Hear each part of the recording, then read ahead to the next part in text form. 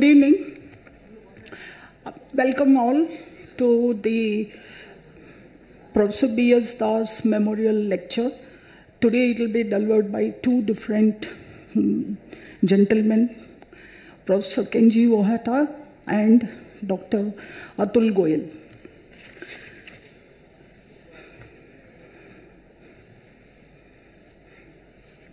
Professor Das was here during June uh, alumni meeting. During that time, we were fortunate enough to have uh, mm, have some time together. What is the purpose of giant sequoia tree? The purpose of giant sequoia tree is to provide shade for tiny titmouse. So, gentlemen and ladies, I take you through the journey of Professor B.S. Das's life in a short way. He was humble, jovial, and able to put people at ease. He was that kind of a gentle giant. He did not put anybody to uh, feel less or more. He was born in uh, Jaipur um, of Cuttack uh, district of Odisha on 28th of October to Anandinath uh, Das and Chitragala Devi. His two sisters uh, nurtured him during his schooling. He married his uh, MBBS classmate, Pro- Professor Sarladas, in 1961. He did his MBBS from uh, SCB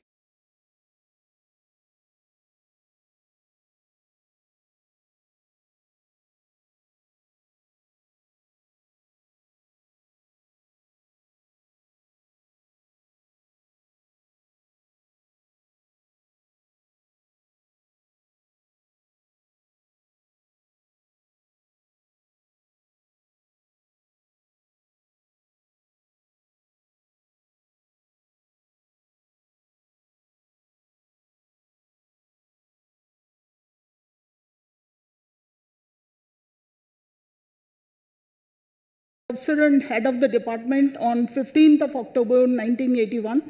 And um, he was uh, quickly put to ease by getting to know the departments, the colleagues, the residents, etc. He introduced uh, anterior cervical uh, uh, discectomy and fusion, and, uh, uh, and, the, and the results were quite good in his hands. Following the rounds, they usually used to have uh, a cup of coffee, and then that, that tradition still continues in the department. His uh, contributions to craniovertebral surgery, uh, transoral odontoidectomy, followed by posterior fusion, which is made by the um, uh, indigenously made uh, implants, and then aneurysm surgeries, and then he has uh, put the department in the current shape. He was fondly, um, uh, fond, fondly remembering uh, uh, as the con- constant source of encouragement that Professor Arun Verma, Professor Narayan Reddy, Professor Madana, H.V. Srimas, Dr. K.V.R. Shastri, and Professor Gauri Devi provided. A steady stream of um, students used to um, get short term training in the center and go away. And then, what else can be a greater reward for a teacher was uh, his response whenever um, any of his former students excelled in his field. He also used to say, My donkey has become a horse. He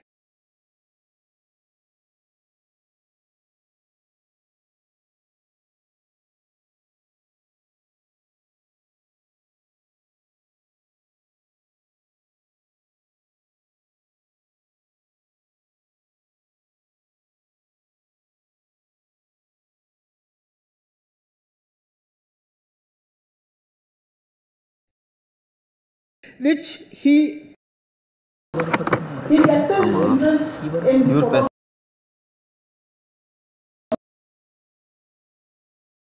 to be involved with NIMHANS as a member of the institute body and hospital management committee and academic council. the Neurological Society of India acknowledged his contributions with a Lifetime Achievement Award. And some of us have been uh, fortunate enough to be uh, in, interacting with him in June 22 at the Neurosurgery Audition and Alumni Meeting at Milan's. This was the uh, photo taken at that time. Thank you and welcome to the lecture. Enjoy.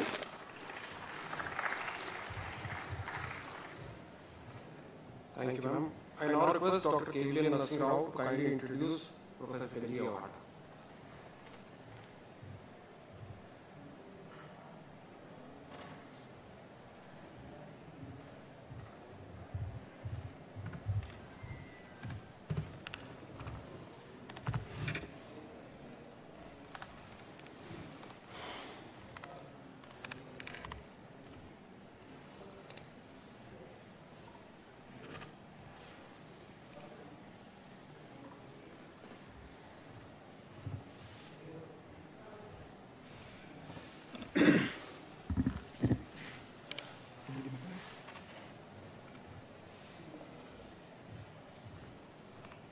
Good evening, everyone. Good evening. it's a matter of honor, pride, and privilege to introduce this gigantic personality in neurosurgery, Dr. Kenji Ohata, who is leader, legend, and a landmark neurosurgeon. And he is internationally acclaimed for his skills in skull-base surgery, both for his skills, techniques, and his concepts. He is known, well known among many neurosurgical centers across the globe. As a customer, I have to introduce, but otherwise, he is popular among all the neurosurgical societies. so, he started his undergraduation and graduation in Osaka City University, Japan. Uh, he, he, was, he worked as a junior, senior, and chief resident from 1980 to 87. He was awarded um, Japanese, from the Japanese Board of Neurosurgeons. His degree was awarded in 1987, and he worked as a short-term lecturer from 80, 87 to 88. Only for one year, he worked as a short-term lecturer in the Department of Neurosurgery, Osaka City University. from then onwards, for learning uh, the, for further professional training, he went abroad and he did his research associateship under uh, Dr. Anthony from Medical College of Virginia, USA. He was offered to stay back in US and he was given a license also, but he denied. And he continued uh, his clinical fellowship to learn the ENT skills of uh, the skull-base surgery at Germany from um, Dr. Draf. So from here onwards, he came back to Osaka, and from 91 to 2020, he stayed in only Osaka uh, City University in the Department of Neurosurgery. He served in various capacities. He started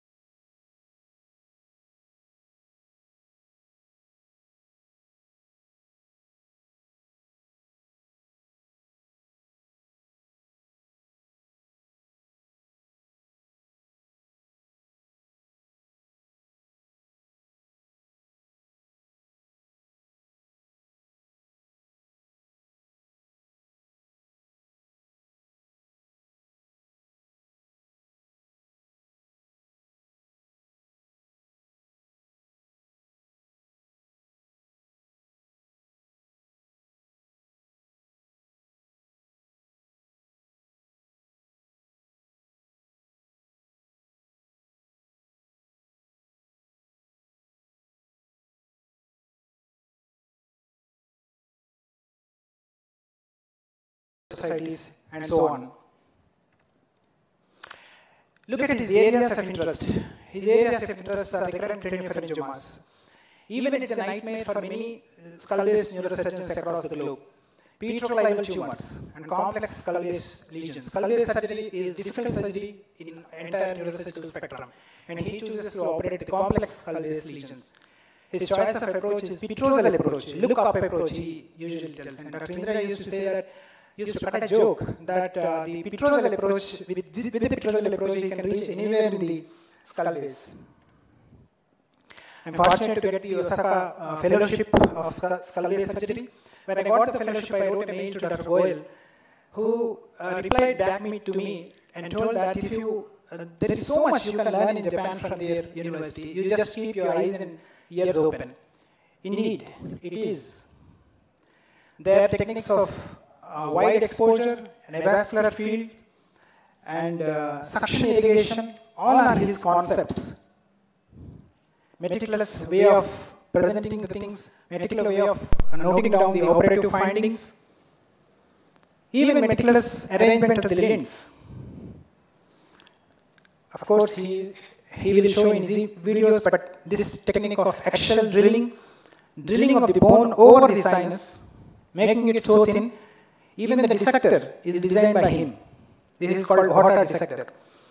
And he would remove the uh, bone over the sinus with a small thing.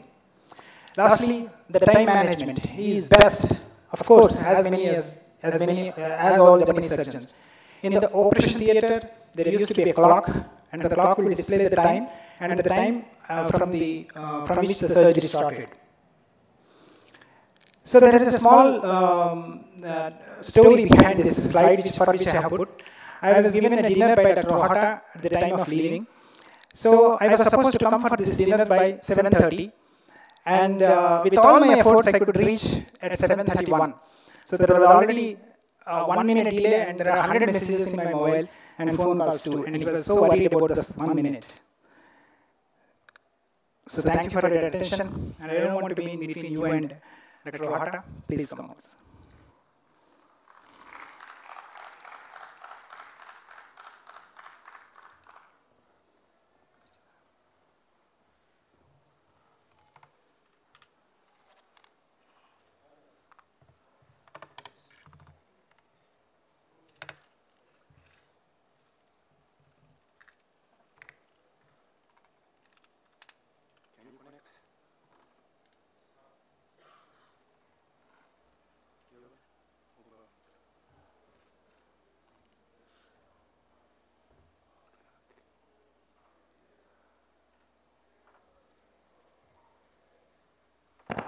So uh, thank you, Dr. Rao, for the introducing me. It is my great honor to have an invitation from the Indian Skull-Base Society. So it is my great honor. Also, I have opportunity to, to give a talk in the Professor B.S. Das uh, memorial lecture session. So today, my, um, I'm, I'm, this is, uh, I first visit, my first visit to India is uh, nearly 20, 25 years ago. I visited uh, India over 30 times, probably. I cannot remember. And my feeling is uh, I'm Japanese Indian. This is my, my uh, impression. So today my talk is surgical approach for 12 cellular meningioma. And uh, seven years back, I was uh, president of the International Society of Meningioma. I organized the, this society. So meningioma, my uh, favorite topics. And also, tuberculum sellae meningioma is my most favorite topic because this is a very, very conceptual disease. You must know the growth pattern of the meningioma. You must know the anatomy surrounding the uh, meningioma. This uh, uh, particular region arises from the, the, this area between the both optic nerve and this is the tuberculum sellae, but uh, sometimes it's uh, origin is uh, shaped to lateral side and uh, cross the palmar sphenoid area, and sometimes it's uh, origin from the uh, diagonal cellar. So this is my schematic drawing. Uh, it's pushed the optic chiasma posteriorly, like this. And uh, if it go grow, sometimes it uh, involves uh, A1 and uh, ACOM complex. This is a very complicated disease. And uh, even if this is a small one, it's uh, start to embed to the medial side of medial wall of the internal carotid artery, no, optic canal, like this. And uh, if it grow, this is a schematic drawing. Typically, it's embed medial wall of the optic canal and uh, involves the A1, ACOM, and its perforators. This is, uh, looks easy but difficult and sometimes it's uh, uh, extend over the optic canal. This is not homogeneous disease. And uh, purpose of this, my talk is uh, introduction for uh, endoscopic approach for midline skull-base tumor. And I want to describe our experience. And currently, we start to use endoscope. I want to show the role of endoscope in this particular region. So this is a schematic uh, drawing the, this uh, disease. That is why I would like to say this is a very conceptual disease. Tumor, this is meningioma. Meningioma arises between this optic nerve but invade cross the optic canal, like this. We don't know the margin of the tumor. If we access from below, we can remove the tumor between optic nerve, but we cannot remove this part. So this is uh, also a schematic drawing in the coronal section. We can remove the tumor through the nose, but this part left behind. We, we couldn't see this part. So my, uh, due to my experience, my impression is best approach is transcranial approach. So I use several approaches in this particular disease, bifrontal approach, by bifrontal orbital zygomatic approach, unilateral frontal, frontal approach, frontal lateral approach. I tried several procedures for the last 40 years with Professor Hakuba uh, and by myself and with Professor Goto. And this is my, uh, I, my experience, bilateral front base approach, unilateral frontal approach, but this approach is not good because between the tumor and the surgeon, there is an olfactory nerve. We, must, we may damage the olfaction. So this is my, my impression is uh, this is a final uh, decision for me. Unilateral approach, we must keep the olfaction intact. I transect the ipsilateral olfactory nerve first, and I dissect the contralateral olfactory nerve. This is a key issue. In some cases, if I use a frontolateral approach, patient lost olfaction.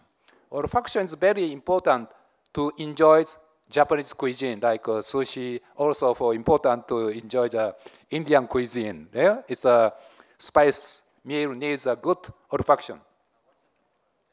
So I want to show my, my uh, typical cases by frontal craniotomy, orbitotomy, it's as uh, if you familiar to approach craniotomy, just uh, 30 minutes required. And if the tumor extends laterally, we add some uh, temporal craniotomy if the tumor is large. So this is my schematic drawing.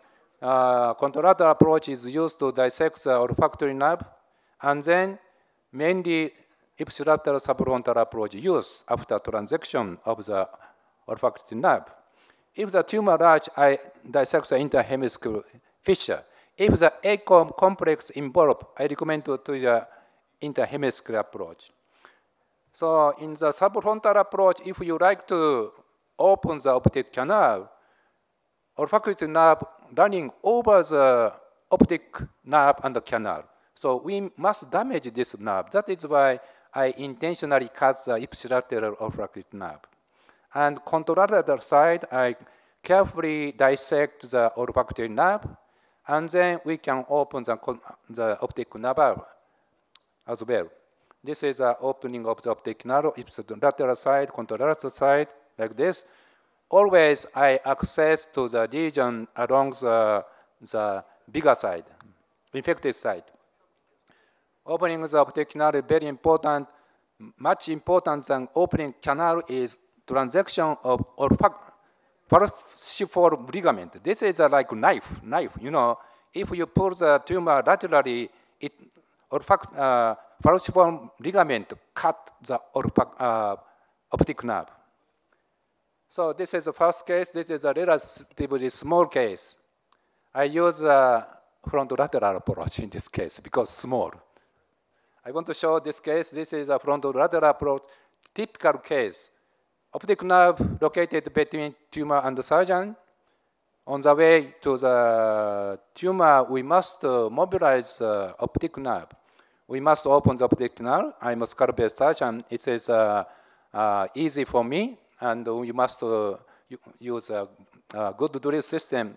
Fortunately, this is a very soft tumor, very soft, easy to remove. I'm so lucky. So, and uh, of course, we must coagulate. The aim of the operation is total resection. I'm uh, involved in skull-base meningioma surgery. Tubercle cell meningioma, in most of the cases, total resection is possible. So radical resection is important. We must coagulate the attachment. And this is a final stage operation. This is a very, very soft. If the tumor is hard, this approach doesn't work well we may damage the optic nerve. So this is a final stage operation. So next case, uh, relatively uh, medial side of the tubercular meningioma, patient uh, vision is intact, nearly intact. So this is uh, my bifrontal approach. Uh, this is a dissection of the olfactory nerve in the contralateral side. Importance is debulk the tumor at the center of the tumor, debulk, debulk, debulk, and then open the optic canal and transecting the falciform fold, and we continue to remove the tumor. Every dissection is lateral to medial side after debulking of tumor. We should never push the uh, olfactory nerve, uh, optic nerve laterally. So this is a, uh, we have a wide space, so we can keep the any kind of perforator intact. This is very important. So this is an approach from the lateral side. Right side, ipsilateral tumor is dissected from the optic nerve. This is a very important step. And tumor dissect from the optic canal, and this is the opening of the optic canal in the contralateral side olfactory nerve, you know, this is a olfactory nerve must be kept intact.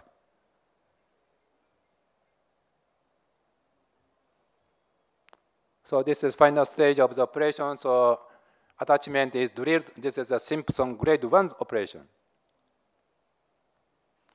So this outcome, tumor totally rejected. This is another case. So tumor a little bit involving the ACOM complex. This is a unilateral bifrontal craniotomy. I mainly use the right side. This is a right optic nerve. Optic nerve must be identified early stage in the operation. And decompression is performed at the center of the tumor. This is the most important step. And then I open the optic canal and all kind of uh, uh, procedure from lateral to medial. Don't push the optic nerve. And opening the uh, optic canal, and uh, I move to the next case.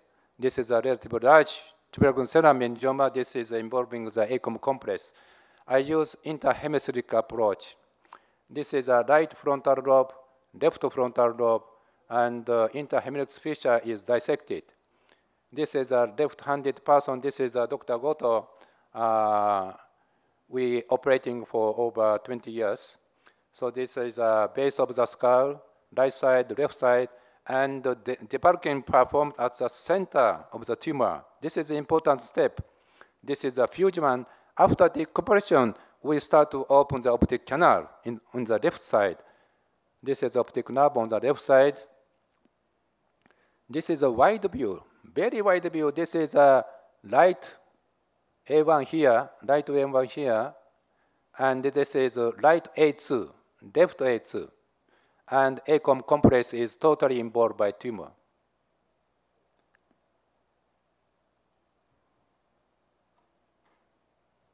So this is uh, some tumor left behind around the ACOM complex. This is a final outcome. So this is a small piece of tumor left behind. I follow this case 10 years, no recurrence at all, because the tumor is completely devascularized. This is outcome. So patient vision improved. Uh, this is uh, my unforgettable case. Unforgettable case, this is uh, ACOM, A1 is envelope. This is uh, my craniotomy.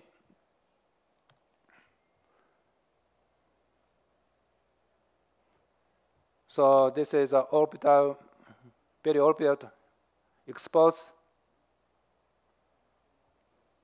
And this is a, a superior sagittal sinus is transected as anterior as possible. This is a contralateral olfactory nerve, carefully dissected, carefully, carefully dissected.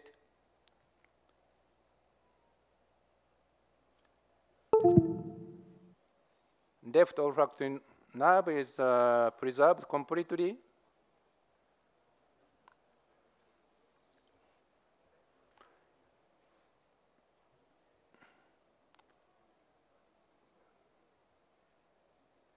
Hmm. So something wrong, so let me move to the this one. In this case, I want to show you is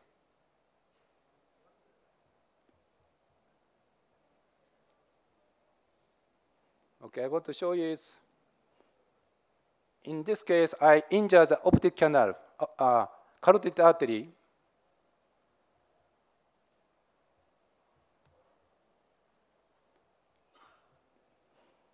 I injure carotid artery by CUSA because tum this is patient has arteriosclerosis, so internal carotid artery uh, projecting medial side. This is a repaired carotid artery right here. I, I clip the uh, carotid artery on the peripheral and the proximal side, and I repair it. So this is a very uh, important finding if we, we like to use an endoscope for this particular region. If the, we injure the uh, internal carotid artery, there's no, no way to repair the internal carotid artery in the endoscope. So this is another case. It's a small, relatively small one. This is a very small one, but the, on the right side, small tuberculum meningioma extend over the optic canal. So this is uh, advantage of the transcranial approach. We can remove the tumor above the optic nerve. So next, my interest, this is outcome. This is another case of diagonal cellular meningioma. This is a particular meningioma. This, this is different from cellular meningioma. This is a attachment is diagonal cellular. And this is a tumor. Tumor looks similar to the cellular meningioma. And I start to remove the tumor uh, by CUSA. And this is a right-sided, right optic nerve but there is a very, very tight adhesion between tumor and optic nerve because diagonal cellular meningioma arises from the, the same system in, of the optic nerve. So there's no arachnoid membrane intervening between the tumor and optic nerve. There's a very, very tight adhesion. So this is uh, important knowledge for us. This is, uh, I try to dissect the tumor from the optic nerve, but it's impossible. I operate this case three times and finally send this patient to the gamma knife unit. This is very tight adhesion. So cellular meningioma is different entity. The stalk here, right optic nerve, stalk is very uh, adhered by the tumor. Total resection is impossible in this case. This is outcome. So this is our clinical outcome. So total resection achieves 27 cases among 34 cases. And this is analysis of uh, visual function uh, 31 cases, I performed the grade 1 surgery, 27 nearly Simpson grade 1 to surgery. So importance is uh, visual function.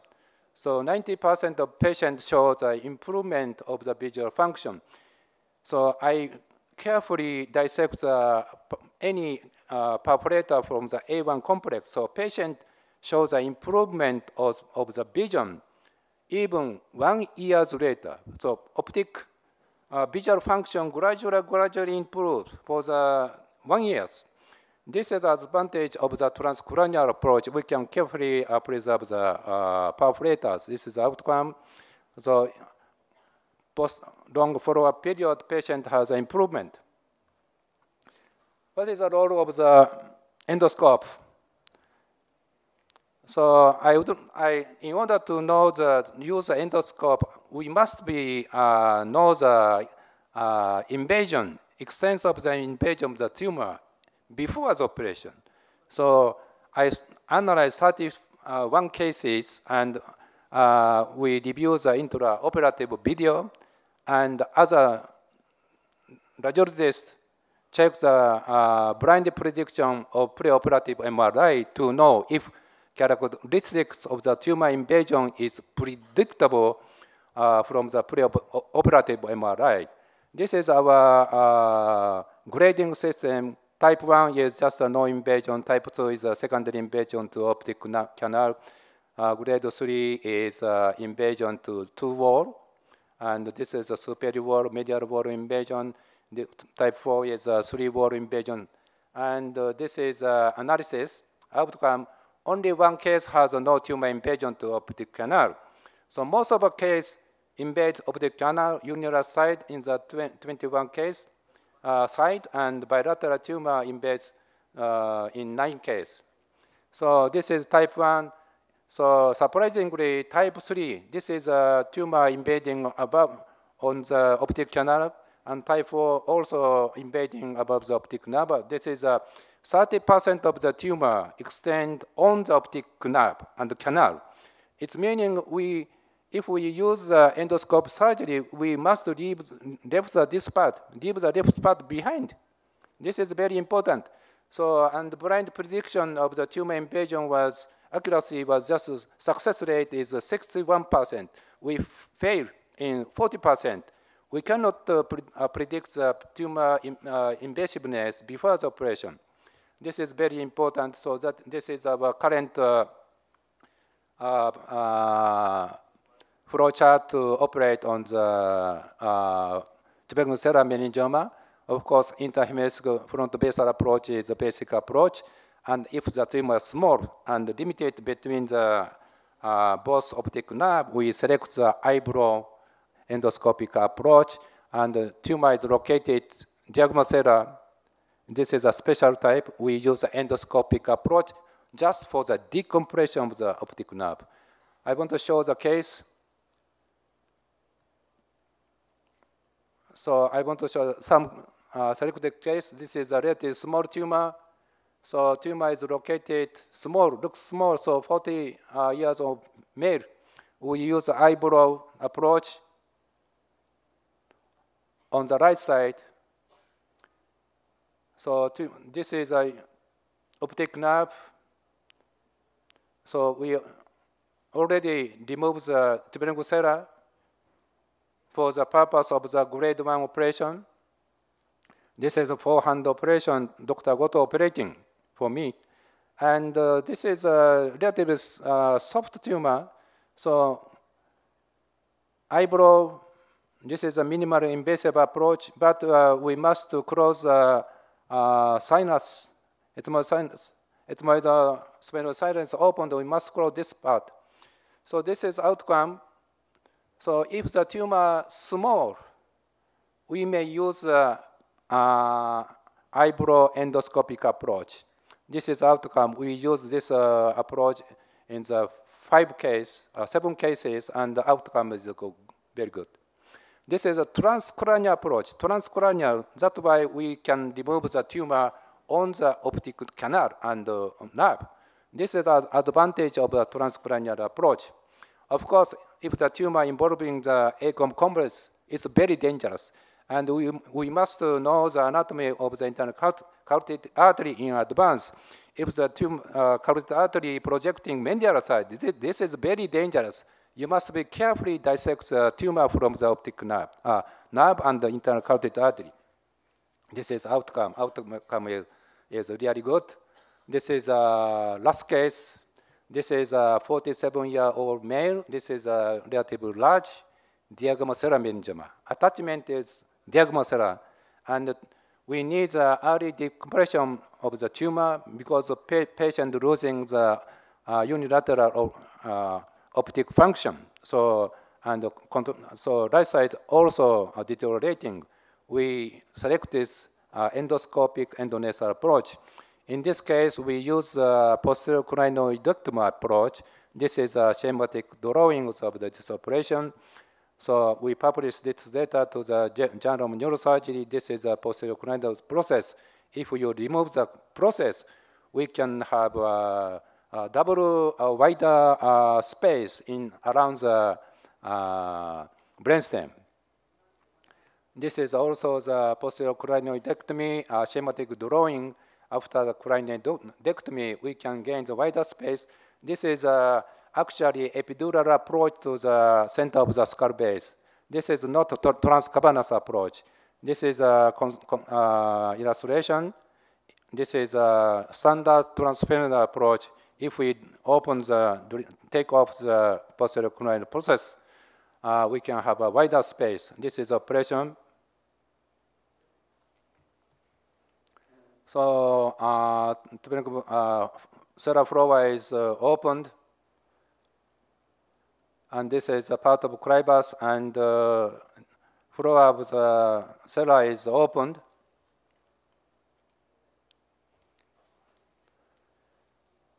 And then uh, this is a, a dura opened as a midline. In this moment, feeder was nicely coagulated, so there's no bleeding from the tumor.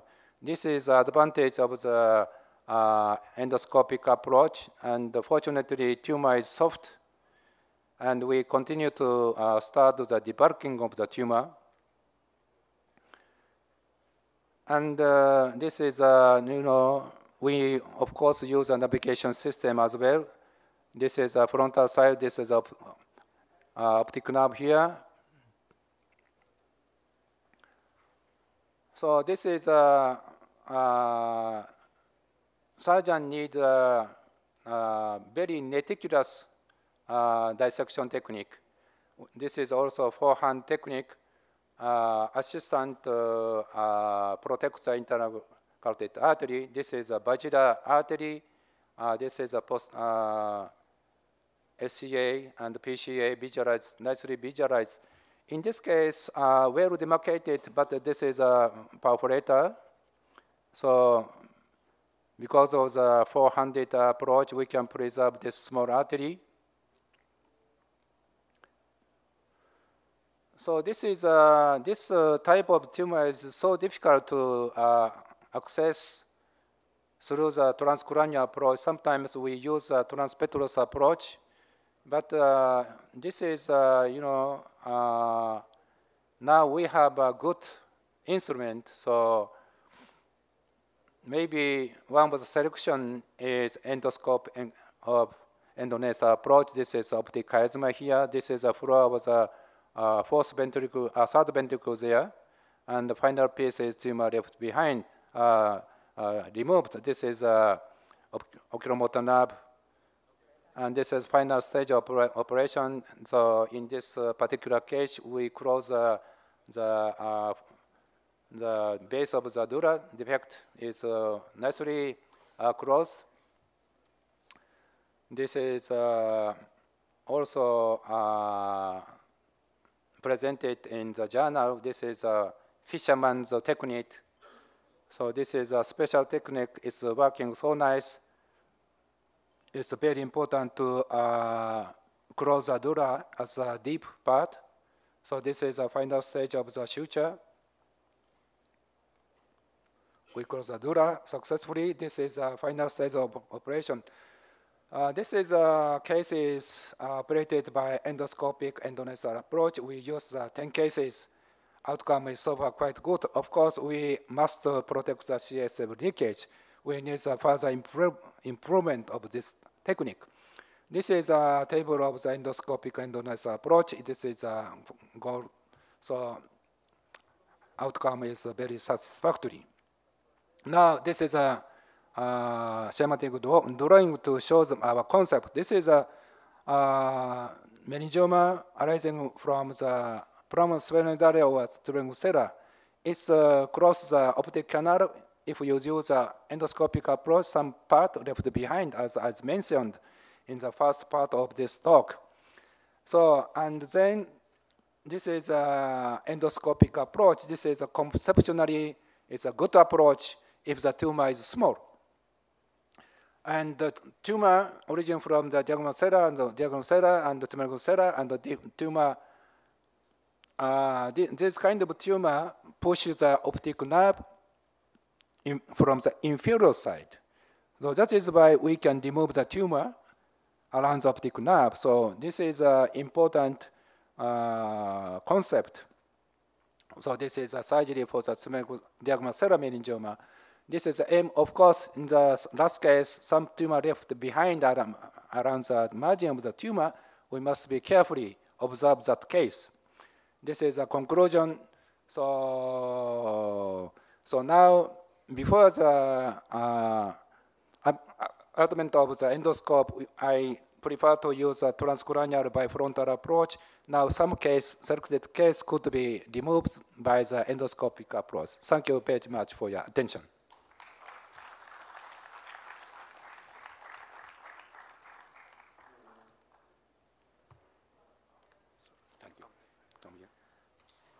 Request our director, Dr. Pratima Murthy, Dr. B. A. Chandramouli sir, and Dr. Dwarkanath sir to kindly felicitate our speaker, Dr. Kenji Ohata.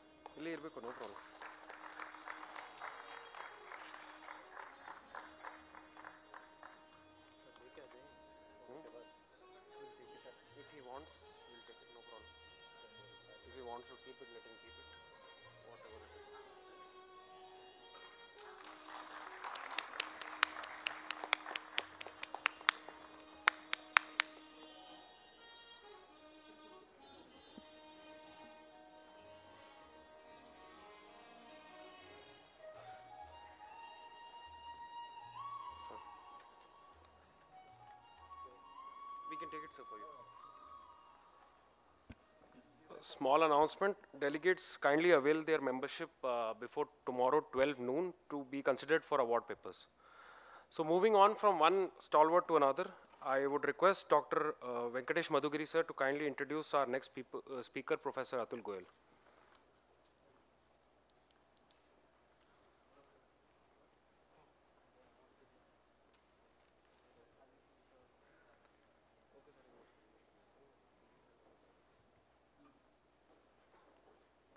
Evening. Um, it's my pleasure and privilege and slightly daunting task to have been called upon to introduce Professor Atul Goel. Uh, Dr. Dwarkanath said to me, and I agree with him, that Dr. Goel doesn't need any introduction. So then the question arises as to what I was supposed to say. So I have some rather uh, dull and boring slides that will serve the purpose uh, of just saying a few things about him. But I think I, I thought I'll, I'll, I'll speak a little bit about what I know of him as a person. So Professor Atul Goel, as we know, he's been the chair of the department at KEM. Uh, what many of us don't know is that he was also the person who started neurosurgery, neuro-oncology services at uh, TMH in Mumbai, much before an alumnus of this institute, Dr. Ali, joined there. And he continues to remain associated with Tata Memorial Hospital in a very active capacity, and his guidance and mentorship has always been there for neuro-oncology services at TMH, which probably explains why they have risen to the height that they have risen to. He is an honorary consultant neurosurgeon at Lilavati in Mumbai, and he's also a consultant neurosurgeon to the governor of the state. Um, Professor Goel has been the president of NSI, we know that. He's also been the past president of uh, the Asia Oceania Skull-Base Surgery Society.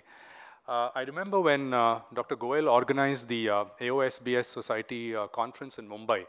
So I had submitted a paper about, uh, about some of my work there, and I was the, so to speak, opening batsman. I think my paper was on the first day, the first talk. And I got there to the hall, and I don't know if uh, Dr. Abida remembers this. There were exactly three of us in the hall, myself, Dr. Goel, and Dr. Abida.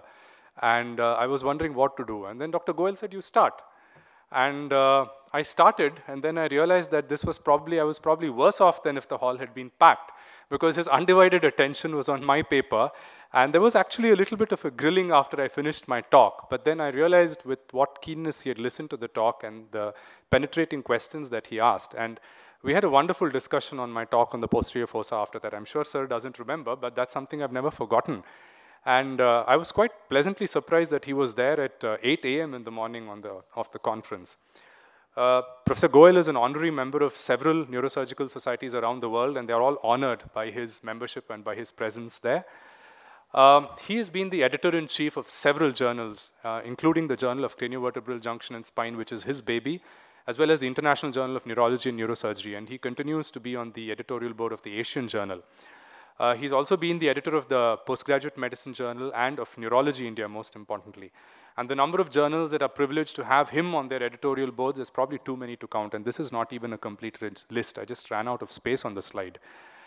Uh, he's been the recipient of several awards, and I have actually focused on those that I felt were important because the ICMR awards that he received twice were for outstanding research. And that goes to tell us that he was as much of a researcher as he was a surgical innovator.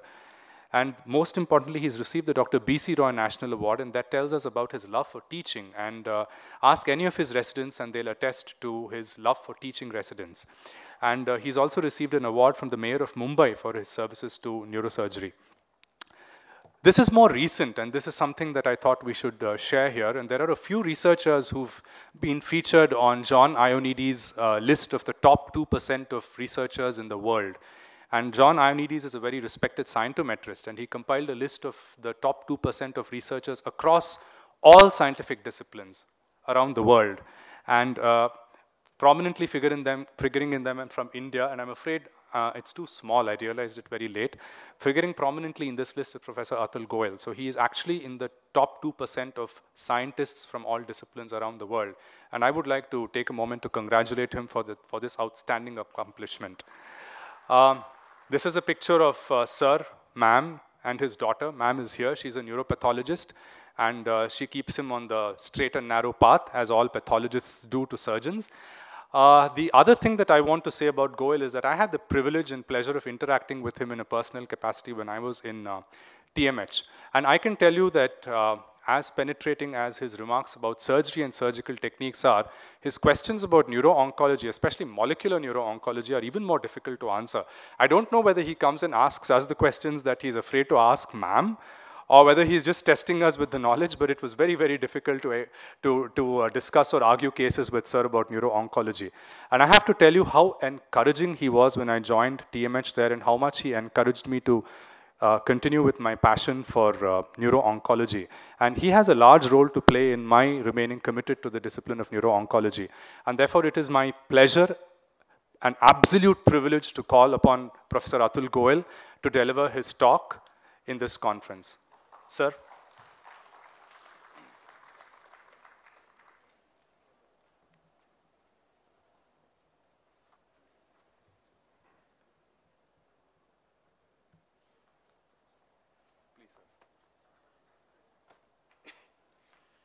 Thank you, Venkatesh, for that elaborate uh, information about me.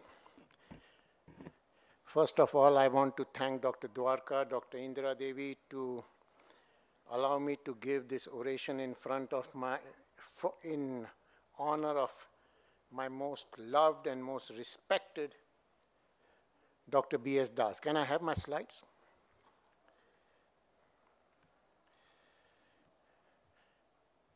Since the Skull Base Society was formed, I have given, always I have talked in this society and always I have talked on cavernous sinus. But today I have decided to talk on the subject.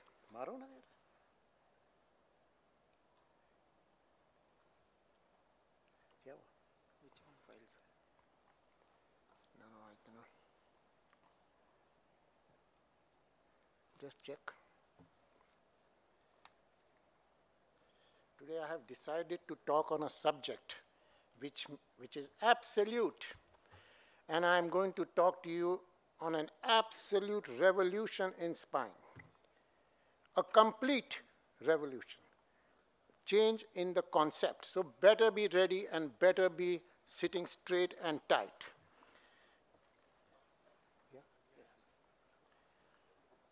So this presentation of mine is in loving memory of Dr. B.S. Das, who has inspired a generation of neurosurgeons.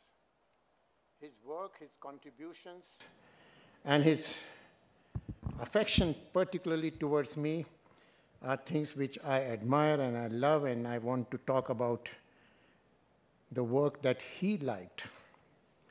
So the whole world of spine the issue is compression. You talk of compression, and the treatment is decompression. So that is spine. I want to take you away from decompression. And I want to introduce to you a concept which may look absolutely radical and absolutely different to you. Compression is never an issue compression is never primary. Compression is always secondary. Compression is always protective. And compression is always reversible. So on this premise, I will take you further. The most important surgical issue is that decompression I'm not talking of only craniovertebral junction. I'm talking of the entire spine. Decompression is never the treatment.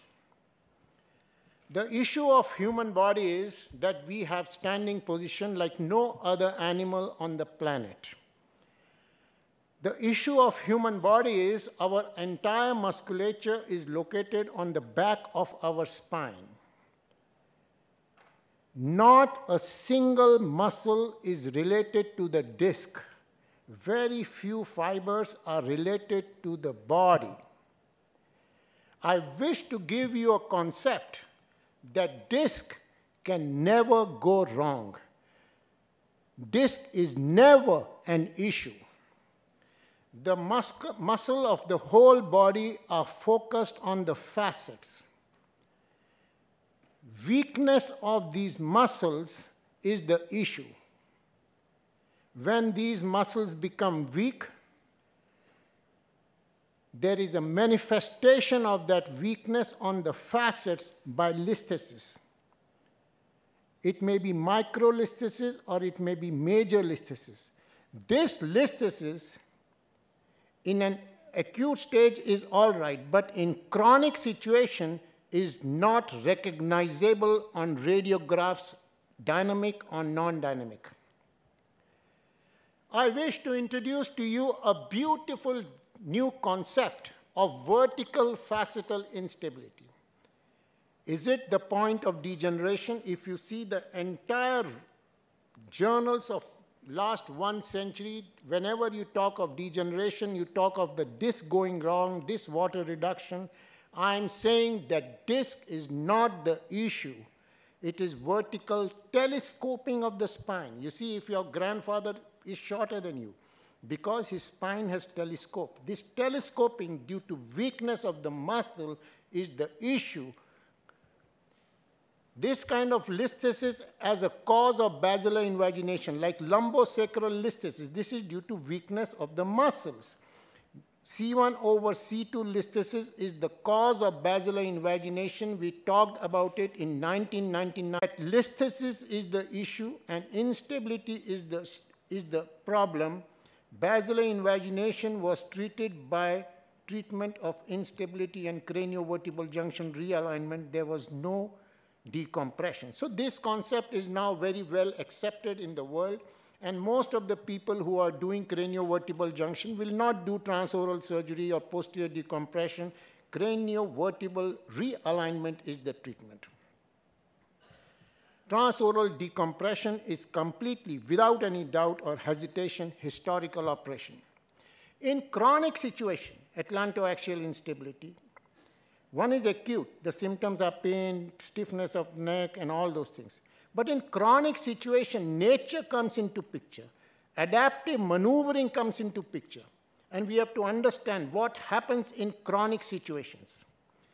When there is chronic atlantoaxial instability, the nature tries to prevent the disability, the neural disability, by introducing several issues like shortening of the neck, torticollis, Klippel-Feil abnormality, C2-3 fusion, bifid, Chiari malformation, syringomyelia, they may be present in discretely or in cohort, like Chiari may present with syrinx, Chiari may be present with basilar invagination. So all these are secondary, all these are protective, and all these are reversible. And currently, the whole world thinks that these are pathological and the whole world treats this anomaly by decompression. They are not primary, they are secondary, they are protective, and they are all reversible. Treatment is atlantoaxial stabilization. So we introduce a beautiful concept of central or axial atlantoaxial instability, which may not be manifested on radiographs, but it is unstable. It is unstable but may cause only marginal deficit because nature is in picture. It, cause, it, it manifests by Chiari, by syringomyelia, by spinal degeneration, by spinal spondylosis, by OPLL, by Hirayama disease. The whole world treats these anomalies by decompression. The issue is understanding the concept of central or axial atlantoaxial instability. Carefully see these slides. So this kind of listhesis we talked about in 1999, atlantodental interval disturbance, the only validated parameter of atlantoaxial instability, compression, the treatment is stabilization. Everybody now agrees to this concept. Now you see this slide, there is basilar invagination, there is no compression, there is no atlantodental interval disturbance, but if you carefully see the facets are malaligned, retrolisthesis problem is weakness or injury or disuse of the muscles. Instability is the issue. Stabilization is the treatment. I have to tell you, the whole world today we will treat by decompression, which is an absolutely negative operation. Another beautiful concept is even when the facets are in alignment, even when there is no atlantodental interval disturbance, Chiari malformation, syringomyelia, platybasia, assimilation of atlas, C2-3 fusion are all secondary manifestations. They are protective maneuvering and they are all reversible. So basilar invagination Instability is the issue and stabilization is the treatment. There is absolutely no role of decompression in both group A and group B, and we have got thousands, more than thousands of these patients, and we have no controversy or confusion about it. Basilar invagination, syringomyelia, Chiari malformation are all children of atlantoaxial instability. They are all looking up to their father. They are all protective and they can run away when the father is treated properly. So we introduced this article whether atlantoaxial instability is the cause of Chiari malformation and atlantoaxial fixation is the treatment. There is no doubt or confusion, and those who have doubt, they have to just walk towards Mumbai. So there is Chiari malformation, syringomyelia, no atlantodental interval disturbance. Look at the facets, they may be unstable. Stabilization is the treatment and magic is the clinical outcome. And magic is the radiological outcome. There is absolutely no role for decompression, whether the facets are in alignment or not. Whether there is minimum malalignment or not, there is only one treatment, and treatment is C1, C2 fixation, and the answer is magic. And answer is absolute without confusion. Even when there is no atlantodental interval disturbance, even when there is no facetal malalignment, presence of Chiari is an indicator of atlantoaxial instability. This tight posterior fossa concept was introduced by me in 1998. I am saying my concept was wrong. And we have got now hundreds of patients where syringomyelia has disappeared. I give you one statement. Syringomyelia will reduce in 100% of patients, 100% if you do after scan after six months. And the patient will improve 100% if you see him in the evening of operation. And there is no confusion. Don't keep any doubt about this. We recently published this series of 388 cases, and you please see the beauty of the results. Whenever Carimal, whenever you do foramen, I was doing foramen magnum decompression for a long time. I was the one who described that there is no need to open the dura. Several of my patients have come back for fixation. This patient was treated 13 times by various kinds of shunts and decompressions and all those things. I treated this thing, a student of IIT, he's back in IIT. When he came to me, he was having a nasal tube, he was having a tracheostomy, he was having a urinary catheter, he was on the wheelchair, he's back on his IIT student. So Chiari is secondary, Chiari is protective, Chiari is reversible, Chiari is an indicator of unstable spine. Syringomyelia is helpful, it is not harmful, it is reversible, it is indicator of unstable spine. Idiopathic syringe, nobody in the world knows what to do.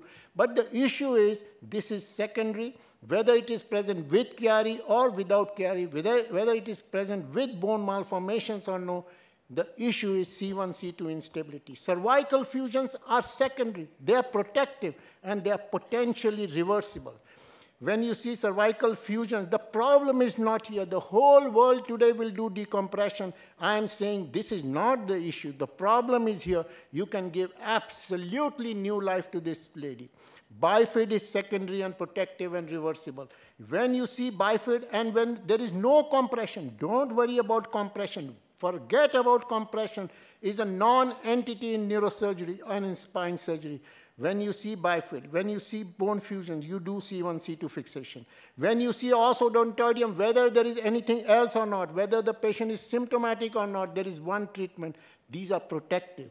These are secondary, and these are reversible. Short neck, short head, short spine are all secondary. You treat C1, C2, you make kings out of these patients. All these secondary musculoskeletal abnormalities like short neck torticollis are reversible following stabilization. And we have got hundreds of examples. No need to get confused and don't have arguments and discussions. You create kings. Another thing, the problem will not be here. The problem can be remote. Kyphoscoliosis, believe me, my dear friends, kyphoscoliosis in this age group in 80% of patients, the problem is not here. Don't stabilize here. The problem is central or atlantoaxial instability. You treat this, you identify it, treat it, and see the magic. So central or axial instability is a manifestation by itself. Then when you see syrinx, when you see bifid, even when there is no compression, the treatment is C1, C2 fixation. So in my estimation, foramen magnum decompression is an absolute historical operation. Now I lead you to another magic. Are you ready to hear this magic? Anterior cervical surgery, the whole world of spinal surgery is doing decompressions from front. I was doing a lot of these decompression to the extent that I was invited to write a chapter in the most famous Sweet and Schmidek book and here is my chapter. I was doing this kind of fixations for a long time. I was doing osteophyte removal for a long time. I introduced these tricortical screws for the first time, and these are quite popular today. But I don't do this. I want to introduce to you a different world of spinal spondylosis. The whole world talks of disc. I am saying disc is divine. Disc is protective. Disc can never go wrong. The problem is you because you have not taken care of your muscles and the weakness is manifested at the facets. Degenerative arthritis of craniovertebral junction. Nobody in the world has ever discussed. So this was my article for the first time in the literature. I have to give you this information that when we talk of degeneration, we talk of C5, C6, C6, 7. Never we talk of C1, C2. I give you one information that C1, C2 instability and C1, C2 degeneration is the most common, is the most neglected, is the most under-treated degeneration in spine. And when we get bad results, we blame our technique. We blame this. We don't blame our misunderstanding of C1, C2. I want you to see, ladies and gentlemen, beautifully this slide, and carefully this slide. Reduction in the, inter, in the joint space, buckling of posterior longitudinal ligament, osteophyte formation. These are not primary events. They are not the issue. They are secondary they are protective and they are reversible. There is no need for any kind of decompression here. When you see ossification of the apical ligament, osteophyte here, osteophyte here, they are not primary. They are secondary. They are protective. And they are reversible. Issue is they indicate unstable spine. You do C1, C2 fixation, and you see a magic. A magic which you will never see by decompression. Retroodontoid pseudotumor. The whole world was doing decompression by transoral surgery. For the first time in literature, we introduced that this is not a tumor.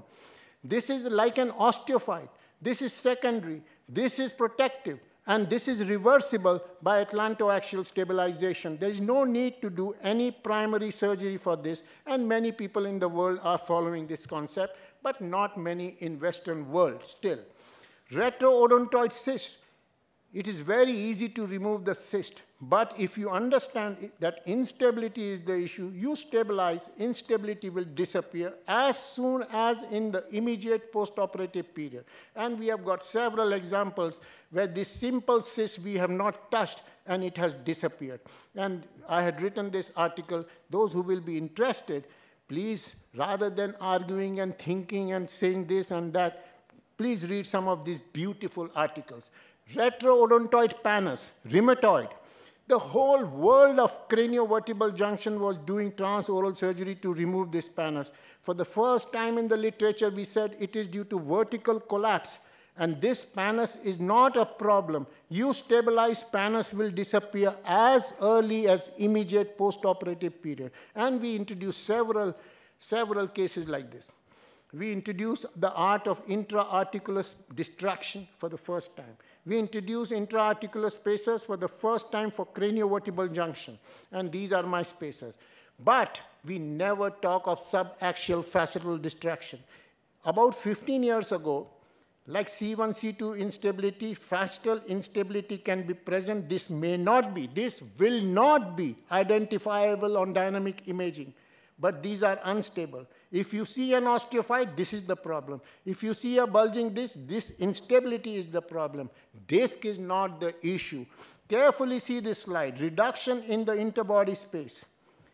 Bulging of these discs, bulging of these discs are not the issue. They are not a problem. They are protective. They are reversible. And they are natural gifts.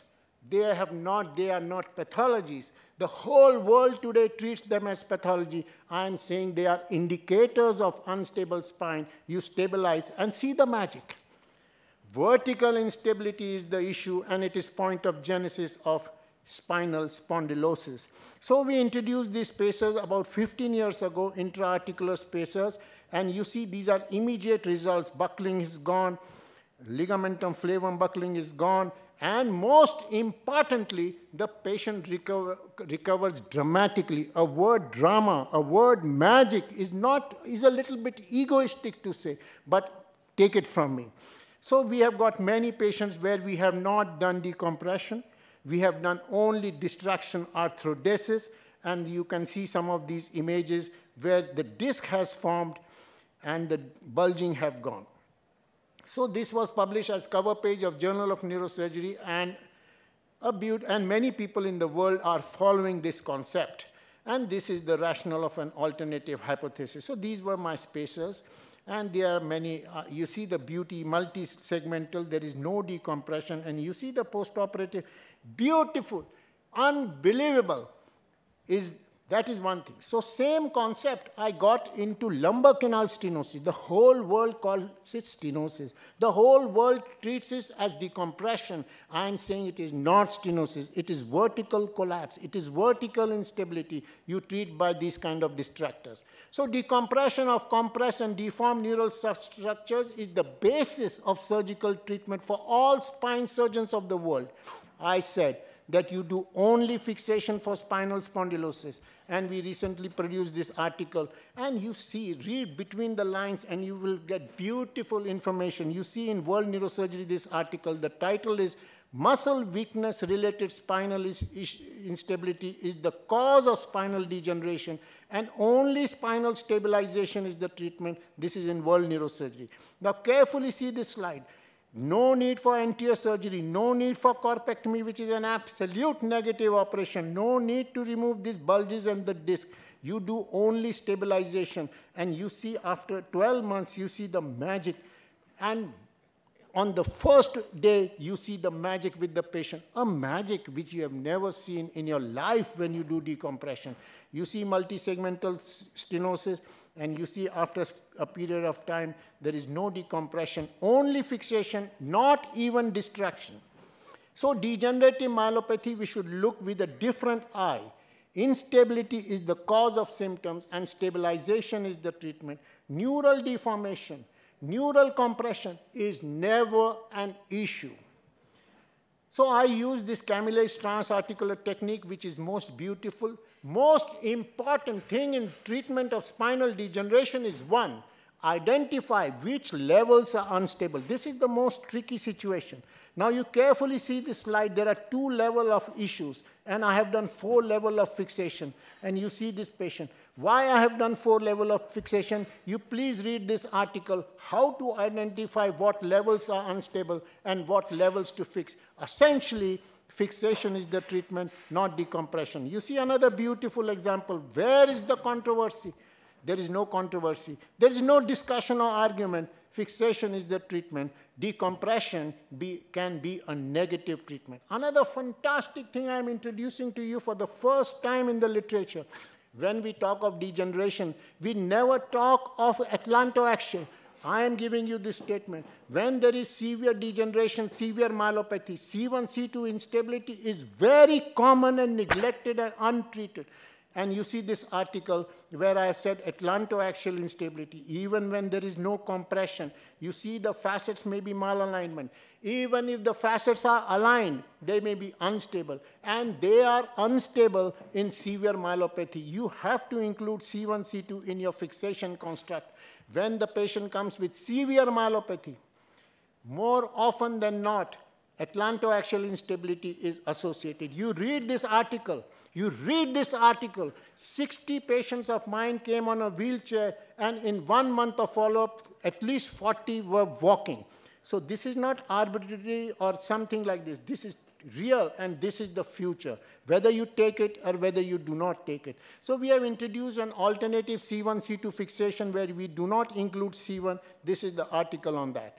So this is multi-segmental. There is no need for anterior decompression. There is no need for posterior decompression. You do Camille's technique of fixation and you see the magic. What is the harm? Suppose you fail, you can come from the front or from midline. There is all, everything is open and you have already done the fixation. I have never required to redo my operation ever. So this multi-degeneration, you do fixation by Camille's technique, you do one screw, two screw. Same concept, same issue, lumbar canal stenosis. It is not a stenosed canal. It is an unstable canal. You see this article of mine, these are not statements which I'm just making in front of you. These are all heavily published. More than 100 articles of mine are in literature. You see this in neurosurgical focus where I say that lumbar canal stenosis analyzing the role of stabilization and futility of decompression. So lumbar canal stenosis, if you really ask me, the whole world will put endoscope from here and endoscope from here and some will put from here. It is not necessary. What is required is do a good fixation, identify. You see, maybe here you are not seeing any compression, but it is unstable. So I, these are indicators of unstable spine. These are secondary and these are protective. And we have got several patients where we have treated without any form of decompression and we have got several publications. So is it necessary to remove the osteophytes? Is it necessary? I am saying it is not necessary. The whole spine surgery is focused on one issue, to remove the osteophytes. And the whole spine surgery is focused on the issue to decompress, to accommodate the osteophyte. I am saying osteophytes are divine. Do not touch them. You fix the problem, and that problem is from behind. Is, these osteophytes will spontaneously bow in front of you and disappear. And we have got several patients which I, am showing you. So degenerative stenosis is a misnomer. Deformities of spine. If you read the literature on spine, I know many of you are skull-based, you don't want to think about spine like I used to never think about spine. I've never talked about spine, now I'm talking. Deformities, the whole world does deformity correction by kyphectomy, by osteotomy. I'm saying not necessary. Deformities are secondary. Deformities are, are protective. Identify which levels are unstable. Like in this patient, C1, C2 should be done, nothing else. In this patient, there is central instability. You have to include C1, C2. This patient, you have to identify. So identification of the level, kyphectomy and bone resection, this is not necessary. I wish to introduce, my dear friends, another beautiful, probably a magical concept to you, that prolapsed disc. Prolapsed disc is not a problem. It is natural protection. It is an indicator of unstable spine. Either unstable spine causes disc herniation or disc herniation causes an unstable spine. Instability is the issue. When you give collar means you are stabilizing the spine. When you give belt, you are stabilizing the spine. Stabilized by surgery. Don't have to touch the disc. And it is very heavily published this concept of mine that this simple operation ACDF, which the whole world will like to do, I am saying it is not necessary. You do fixation, this disc will disappear. Most importantly, the patient will improve remarkably. So this was my article in World Neurosurgery where I said that fascicle fixation arthrodesis is necessary.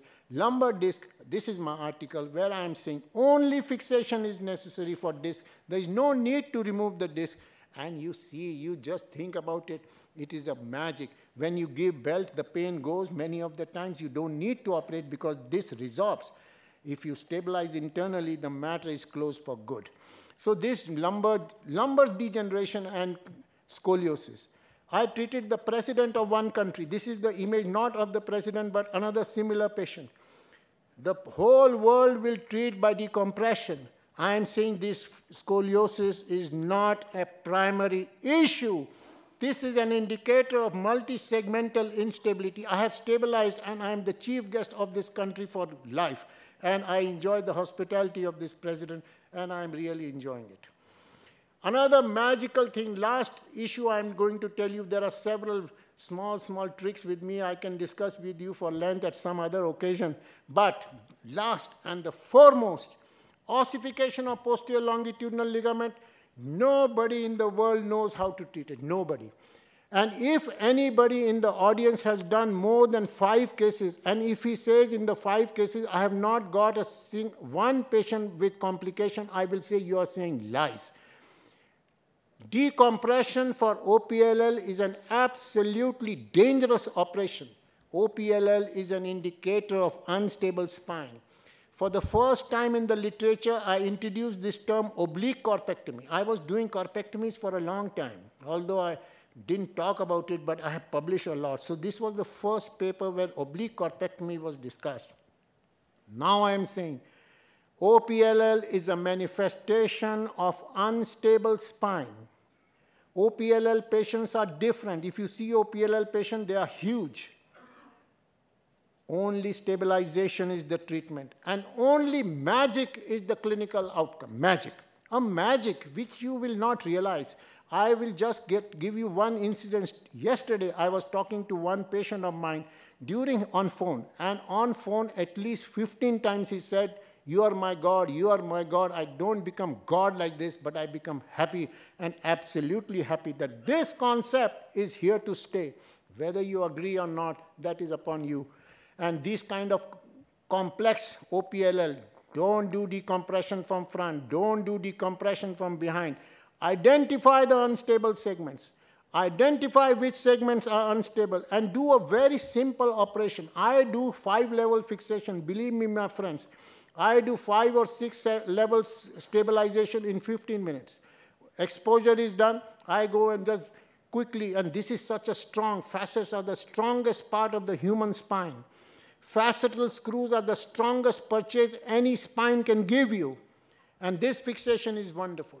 Another fantastic thing, my dear friends, atlantoaxial instability is very frequently associated in OPLL along with subaxial spinal instability. You have to include atlantoaxial joint in your fixation construct. If you do not include, you can have a failure. Then don't blame your rongeurs, don't blame your drills, don't blame anything. Blame yourself because you have not understood the problem. So atlantoaxial instability is very frequently associated. I'm saying can this revolutionize the treatment of OPLL? Absolutely. It has already revolutionized and the magic is done. So this is the technique I sometimes introduce two screws, three screws. Can decompressive laminectomy for degenerative lumbar and cervical spinal stenosis become historical? Yes. Is instability the nodal point of pathogenesis of bold cervical spine, cervical spondylotic myelopathy and OPLL? My answer is yes. Like transoral decompression, anterior surgery will soon find history books. These kind of decompressions can become futile and nonsense. I should not word this because there are very beautiful people sitting. I want to be very, you know, nice to you and nice to myself. I should not use these kind of words. But I'm saying, from only decompression to only fixation, this is my article. Atlantoaxial and subaxial fixation can revolutionize the treatment of OPLL. My dear friends, compression is never an issue for the whole spine. I'm not talking of tumors. Compression is not an issue and decompression is not a treatment. Thank you very much.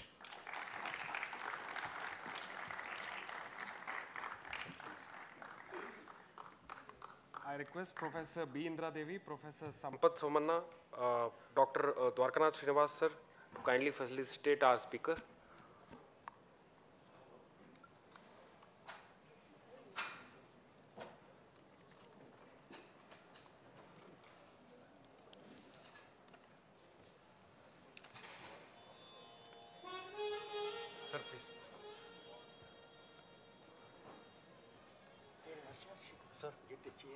Chair.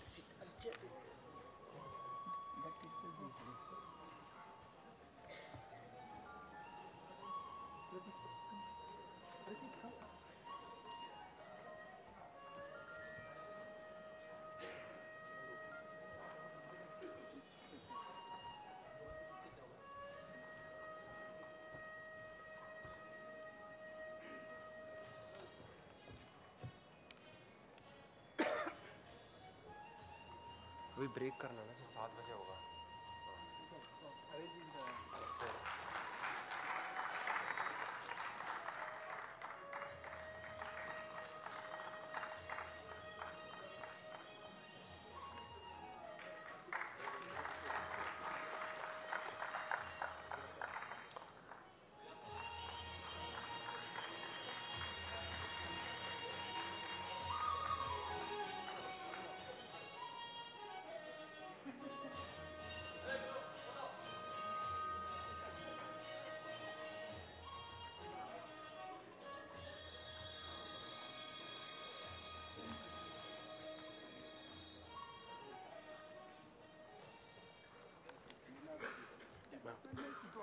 Srinivas, told Srivatsa.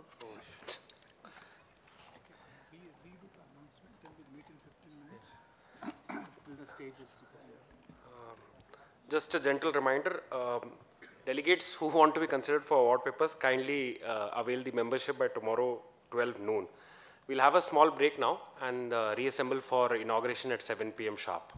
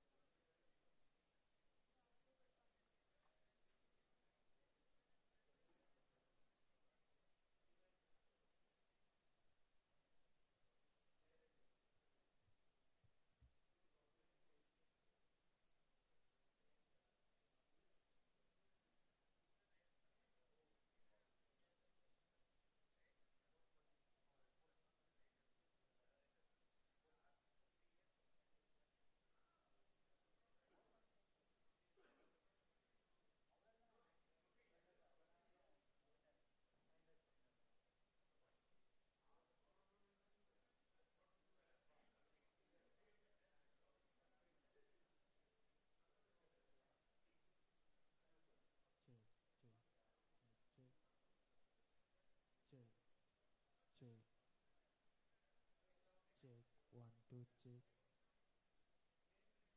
Check, check, check, check, check, check, one, two, check, check, check.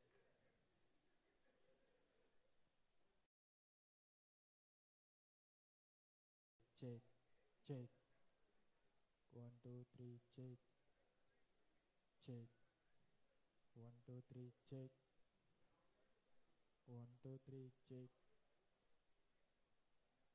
check, check, check.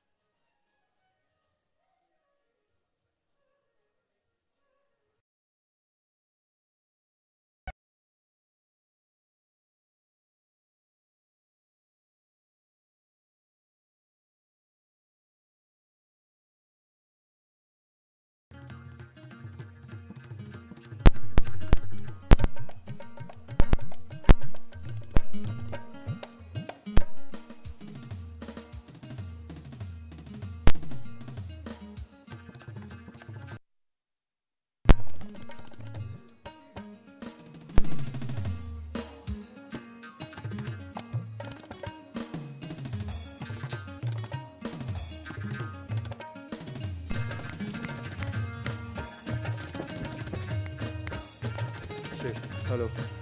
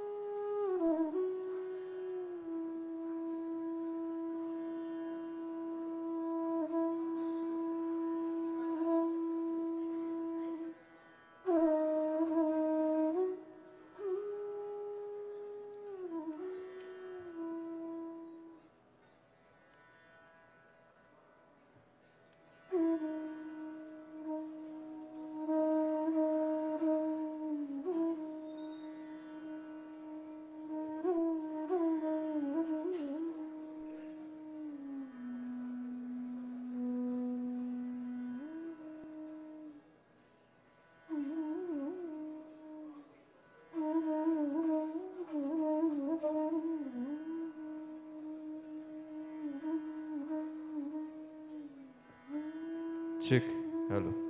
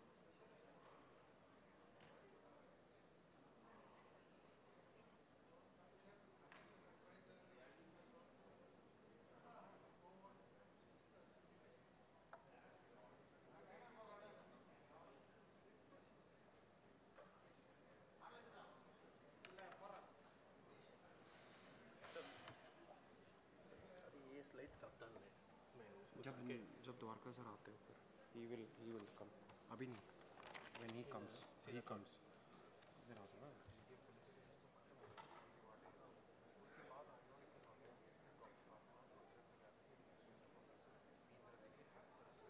that time that's late okay so he'll introduce indra devi ma'am that time is uh, then he'll introduce uh, sampathi while the introduction everything is going on that slide will go on of the respective person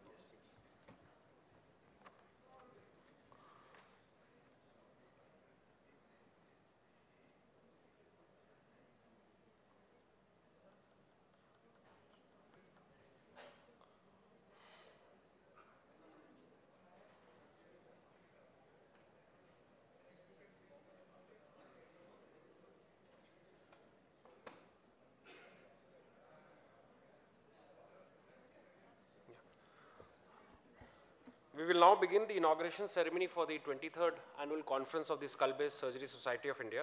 I request all the delegates to kindly take their seats. I request our organizing secretary, Professor Dwarkanath Srinivas sir, to kindly uh, escort our chief guest, Dr. G. N. Narayan Reddy sir, our guest of honor, Dr. Pratima Murthy ma'am, the President, Skull Base Society of India, Dr. Rajneesh Kachara, Secretary, Skull Base Society of India, Dr. Ashish Suri, Organizing Chair, Dr. B. Indra Devi, to kindly come on the stage.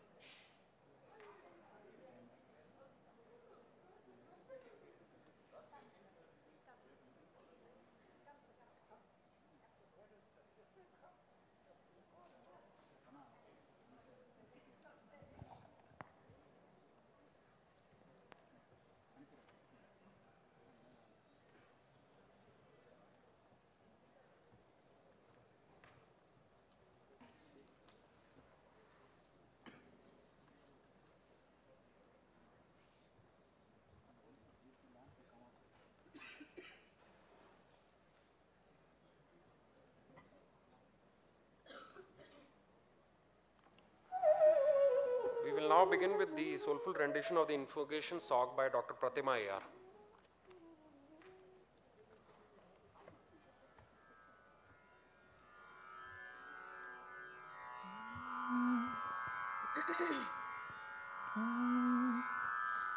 വാണി Veena പുസ്തക പാണി വാണി Veena പുസ്തക പാ वाञ्छितफलदे कल्याणी वाणी वीणा पुस्तकपाणि वाञ्छितफलदे कल्याणी वाणी वीणा पुस्तकपाणि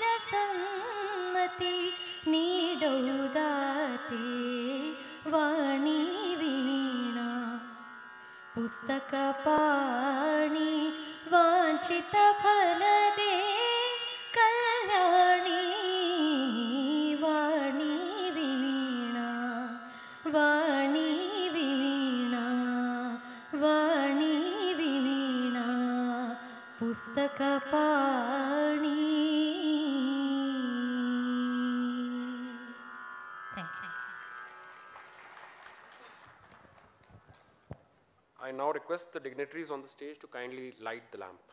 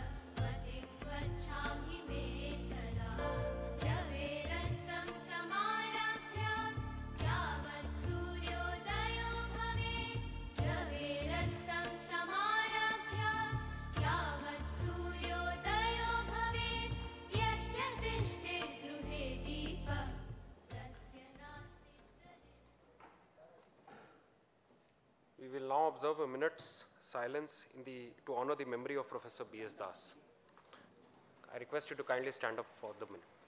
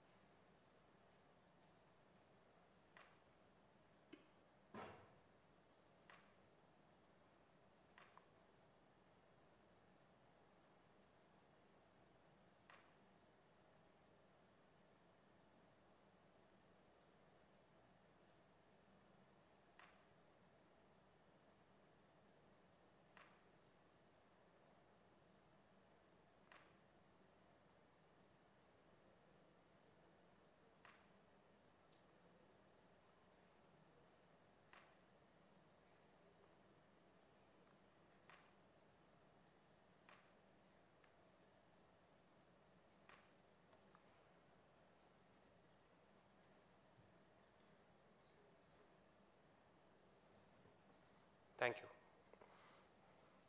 I now request the organizing chair, Professor B. Indra Devi ma'am, to kindly deliver the welcome address.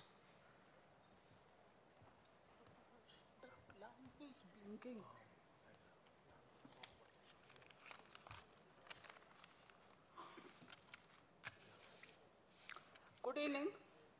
I am happy to welcome you, one and all, to the 23rd Annual Conference of Skull Base uh, Surgery Society of India, being hosted by the Department of Neurosurgery, NIMHANS, Bangalore.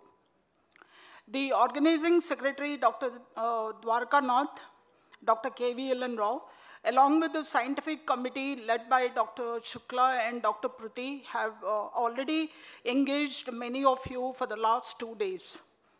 That is yesterday and today.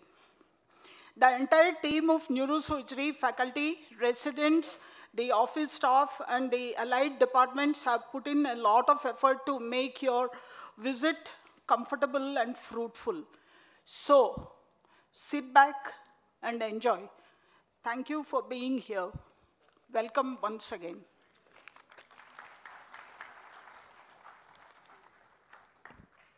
I now request the President, Skull-Base Society of India, Dr. Rajnish Kachara, to address the gathering.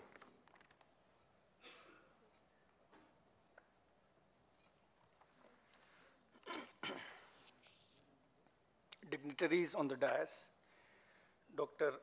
G. N. Narayana Reddy, former director of NIMHANS, Bengaluru,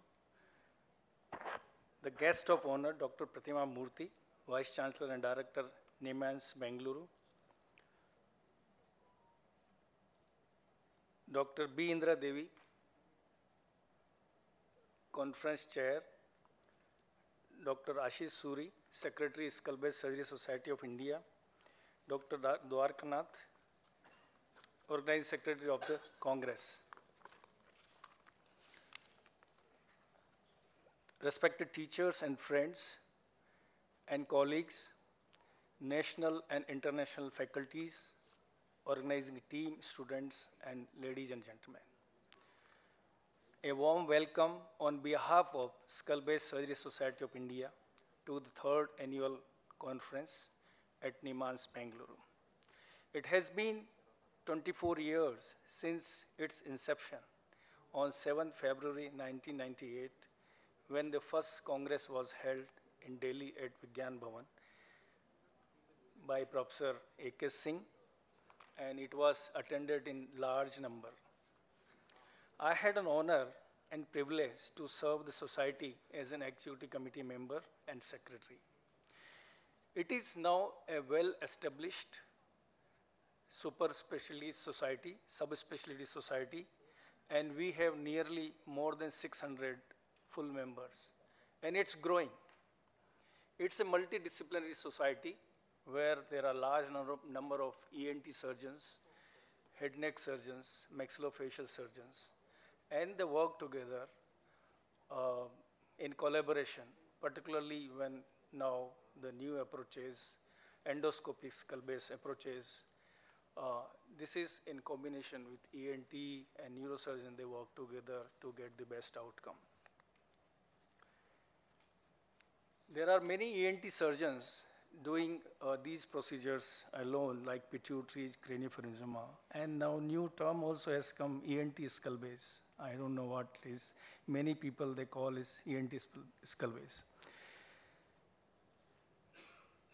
Still, there are areas of controversies regarding approaches. Every day there are new approaches, new uh, innovations, new investigations. So this, con this conference again will give an opportunity to interact with each other, learn from uh, each other discussions.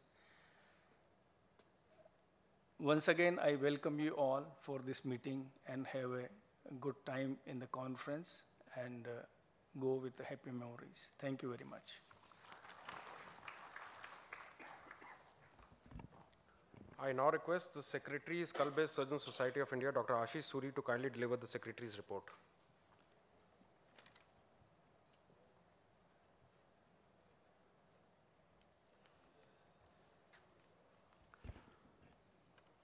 Good evening.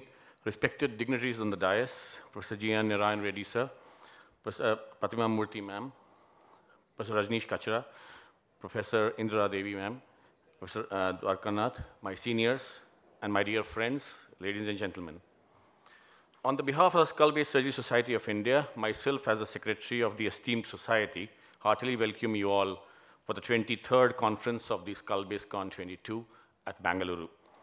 The society was established, as Professor Kachra said, in 1998 to, to enable and enhance the training, education, and research in the field of skull base surgery.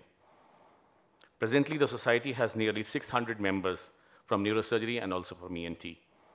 The skull base surgery is a complex, and we've seen today's surgeries, unpredictable and highly technically demanding, with requiring mastery of both the microsurgical skills, the neuroendoscopic skills, techniques which have a long learning curve, and, and there's high dependence on technological adjuncts from neuroimaging, neuronavigation, neuromonitoring, and surgical instrumentation, etc. The society highlights include the interim workshops, the annual uh, conference, short-term training fellowships. And we are thankful to the Department of Neurosurgery, NIMHANS Bangalore,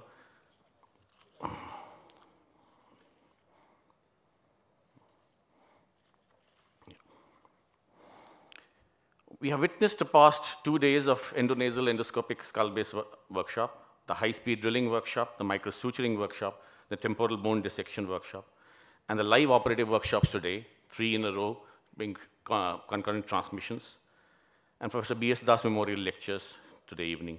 The next two days shall be packed sessions with invited talks from national and international leaders, orations, 2D and 3D video sessions, awards, and three paper sessions and posters. We thank all the faculty and delegates from all over India and abroad. I've been told there are 350 registrations. My special thanks to Professor Ohata, Professor Goto, Professor Terasaka from Japan, and my friend Professor Froelich from France.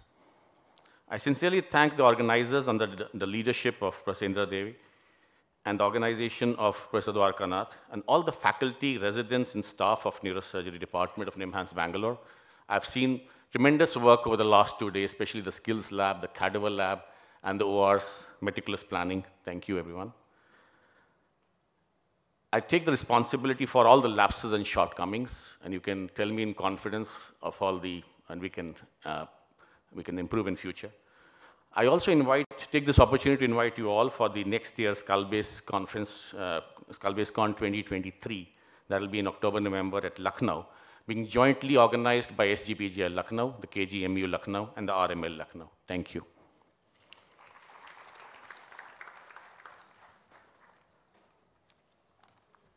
I now request our guest of honor, Vice Chancellor and Director, Dr. Pratima Murthy, to kindly address the gathering.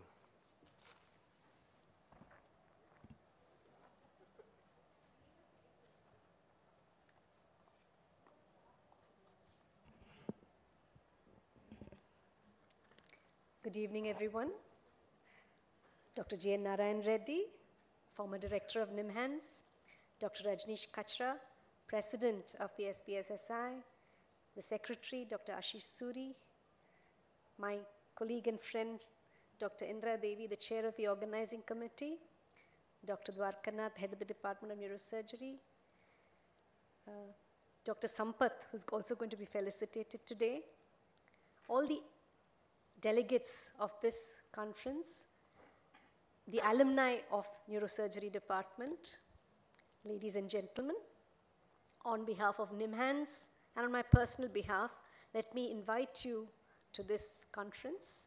It's actually been very exciting for me as well because I think of the last couple of months you've been discussing what's going to happen and uh, it's fairly quick in succession uh, after the June conference that was held here, where we met a lot of the alumni, and following up soon after to have a really fantastic array of activities.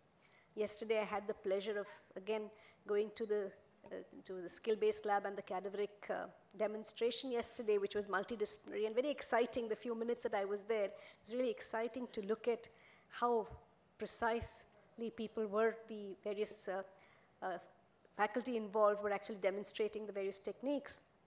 And of course, this afternoon I listened to the plenary lecture. Uh, and as uh, Dr. Suri was mentioning, the developments in the field are clearly phenomenal, uh, both in terms of technology, in terms of techniques, in terms of neuronavigation. And I think it's so important more than ever to keep in touch with the techniques, communicate with each other, and thankfully, after a couple of years of doing it online, it's nice to, you know, to talk to each other, to actually see things being done live, and to learn. And it's particularly, I think, encouraging for the younger neurosurgeons in training to have an opportunity to really, uh, you know, train in many of these techniques, which might not have been possible for various reasons, even, you know, up to a decade ago. I want to compliment the Department of Neurosurgery for really being able to put so many things together. And I think we must always remember that we stand on the shoulders of giants.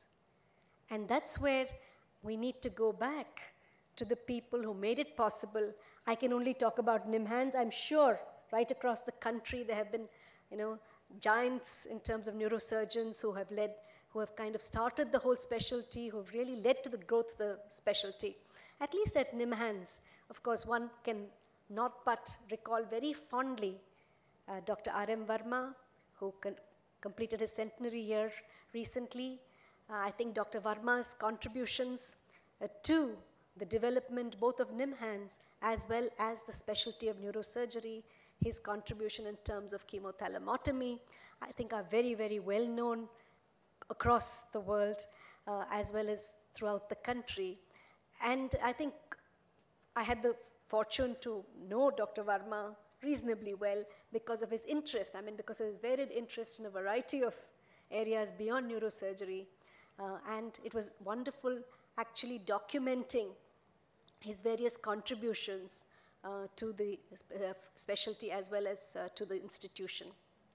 Dr. G.N. Narayan Reddy is here.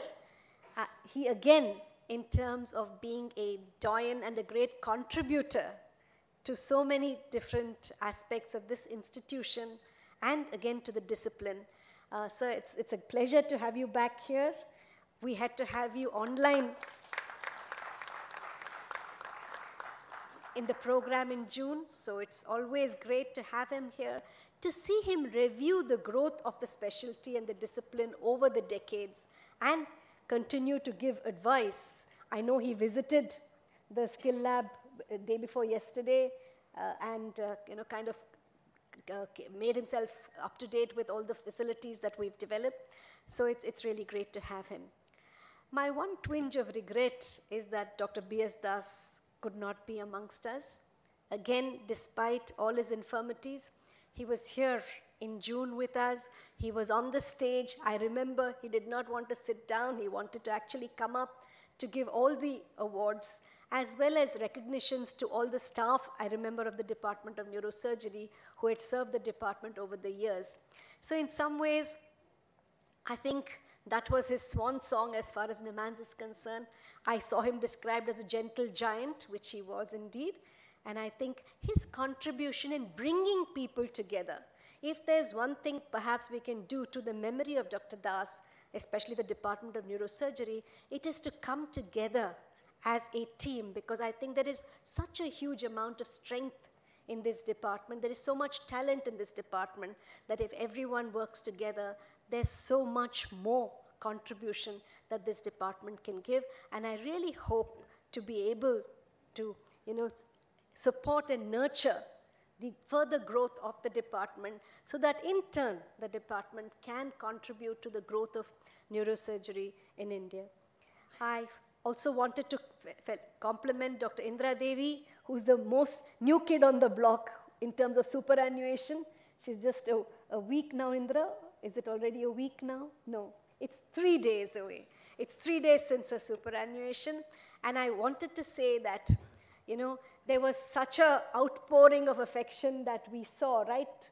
You know, throughout the day, on the 31st of uh, October. And Indra, of course, the, uh, the, this thing for her, the, she was called the lioness of neurosurgery.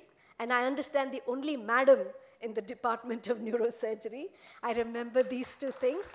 So I think it is to Indra's credit, and more importantly, I think uh, since Indra has been here in our institution, uh, was, you know, contributing so much to the Department of Neurosurgery, I just checked with her that we have six young women uh, trainees in neurosurgery. So I want you all to stand up. I think it's probably the first time you've, you've broken a record in the country. So don't feel shy. Just stand up and get yourselves a standing ovation because I think that's really some, we it tells you how long we've come. And I think it's wonderful, and I hope you'll have a wonderful time. This is, please sit down. It's not to undermine the other neurosurgery residents who also joined. I know it's a tough call. I know it's, it's, you know, you're always on your toes, but the learning that's here, I'm sure, will, you know, will make up for, you know, for the long hours that you work. And I don't think you can get a better place to work in as NIMHANS.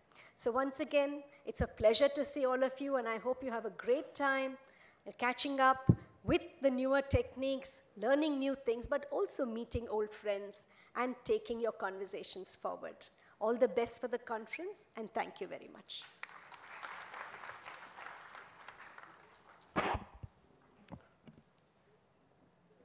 I now request our chief guest, former director Dr. G. N. Narayan Reddy, sir, for his inaugural address.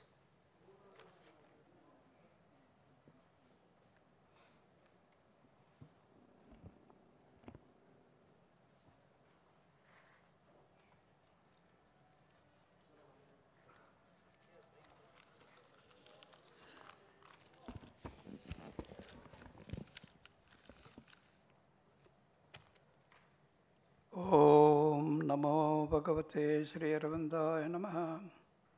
ओम आनंदमयी, चैतन्यमयी, सत्यमयी परमे।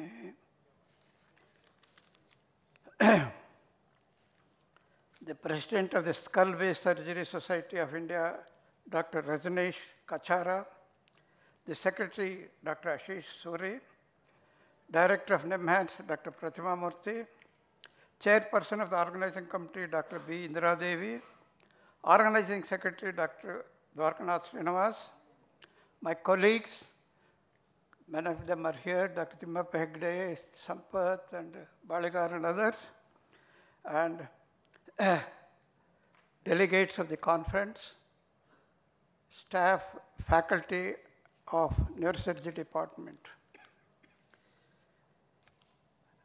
It's a great pleasure to be here with you all. And I'm thankful to Dr. Dwarkanath, organizing secretary, and the organizing committee for inviting me to, the, be, to be the chief guest and inaugurate the conference. Looking at the all short speeches, I'm wondering whether I should cut down and bring it down. Anyway, whatever it's worth, I will share how the department has grown. First of all, I'm thankful, rather, I'm grateful to the grace of God and Divine Mother for giving me this opportunity to see the department growing from the scratch to the present day and able to witness the whole development. Considering that, probably that is the only credential I have got to be in front of you to inaugurate this conference. And on this occasion, we have to remember with gratitude two great persons, as already been mentioned. One is Dr. M. Govind Swami, founder, director of All India Institute of Mental Health. And second is Dr. R. M. Verma, founder, director of NIMHANS. Dr. Govind Swami was a great visionary. He was the one who conceived, conceptualized, implemented to bring all the disciplines of brain and mind together under one roof. And he was my mentor too. That's how the Department of Neurology, Neurosurgery, Neuroradiology, Neuropathology, Biophysics, and other departments came into this All India Institute of Mental Health. In 1957, I was the assistant surgeon working in the mental hospital. After completing the rounds in the female psychiatric ward, Dr. Govind Swami told me to apply for the DPM, DPM course to do the psychiatry. When I mentioned to him, I'm not interested, sir, I want to do surgery, immediately turned and told me, good, I want you to become a neurosurgeon, but do the DPM, it will help you. I had not heard of neurosurgery as a specialty in my life. Neurosurgery was nowhere existing in Karnataka. No medical college was teaching about it. That's how Dr. Govind sowed the seed of neurosurgery in the institute as well as in me. Dr. In 1958, Dr. Rajmarthan Verma, R.M. Verma, was deputed from central government of government health services to the All Institute of Mental Health to start neurosurgery. He has to start with nothing except probably small operating theater in the middle of the psychiatric ward. So with that, he started with all enthusiasm, commitment, and dedication and personal effort to see that the seed is sprouts without perishing. I was at that time the RMO in the mental hospital as well as doing my DPM course. So I was his first assistant to help him.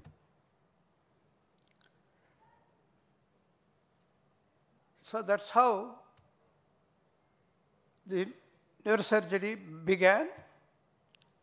And in 1960, I was, after completing my DPM, I was deputed by the government of Karnataka with scholarship to specialize in neurosurgery. When I came back in 66, I was posted to the same hospital. And I started working with Dr. Verma. In 1967, Dr. Verma was promoted as a professor and posted to G.B. Pant Hospital in Delhi. But he came back in 1969 when Dr. Surya took a voluntary retirement as a director and professor of neurosurgery. I'm just telling you how the department step by step is developed. Then in 1974, when NIMHANS was formed, he continued as the founder director of the NIMHANS, and I was made as a professor and head of the Department of Neurosurgery. Of course, I was continued as a medical superintendent also. In 1980, when I became 1979 as a director, in 1980, Dr. B.S. Das was appointed in my place as a professor head of the department. So that's how the department developed. Subsequently, after Das, lot of stalwarts like uh, Professor Shastri, Chandramouli, Sampath, Indra, all the heads of the department, uh, present and past faculties, have supported to develop the department. Though I retired in 1990, I had, I, am, I was aware partly of the various developments in the department and even attended some events. But then I thought I had not visited the subspecialty hospital of Dr. Verma's, which is in the Dr. R.M. Verma's name. So at the request, at my request, Dr. Dwarkanath took me around just two days ago, the hospital, uh, took me around the department. I was, had, had my own old nostalgic memories. In addition, I was delighted to, and also amazed and overwhelmed to see the expansion, additions, infrastructure development, art of, state-of-art equipment. This was really, I was taken in a great way. That too, all the facilities for patient care, facilities for teaching and training problems, developing a center, for skill development center, and as well as research facilities. It was a great heartening condition to me. Then, what I want to say subsequently is,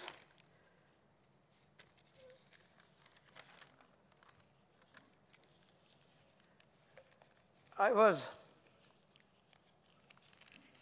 the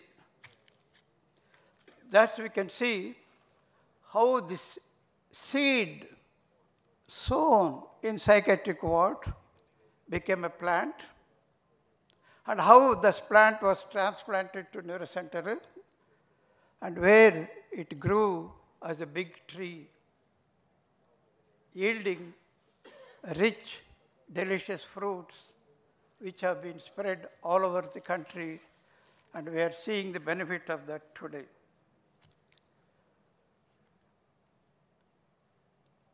I must share, I felt a little sad when I was going through the subspecialty center. It has a, such a wonderful infrastructure, such a art of state-of-art equipment. Many of them are underutilized at present. And particularly when I saw two operating theaters with the full sophisticated equipment not being used. Of course, there may be many, many reasons for that.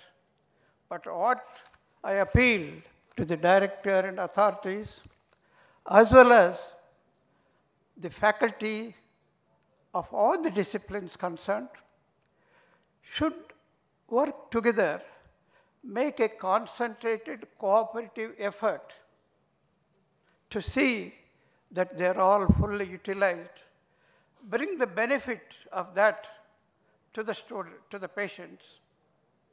At present, I am told there is about three to four months waiting list, I understand. I'm sure that can be cut down. Not only that, the sophisticated equipment can be utilized to develop innovative techniques and research facilities can be made use of fully. At the same time, though with this appeal, at the same time I must express my great satisfaction and gratification to see that the Department of Neurosurgery, why, whole institute as a whole, in all the disciplines, has stood up to its main objectives. Main objectives of service, teaching and training, and research facilities. Happy to note that in all the areas, the institute is doing excellently well. And service has been the priority that is even continued even today.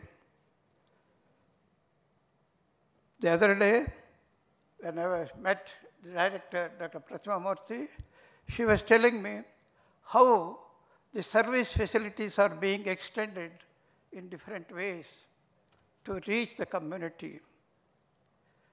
They are making use of the platforms of general hospitals, schools, and various other NGOs to develop an interaction between the institute and the community.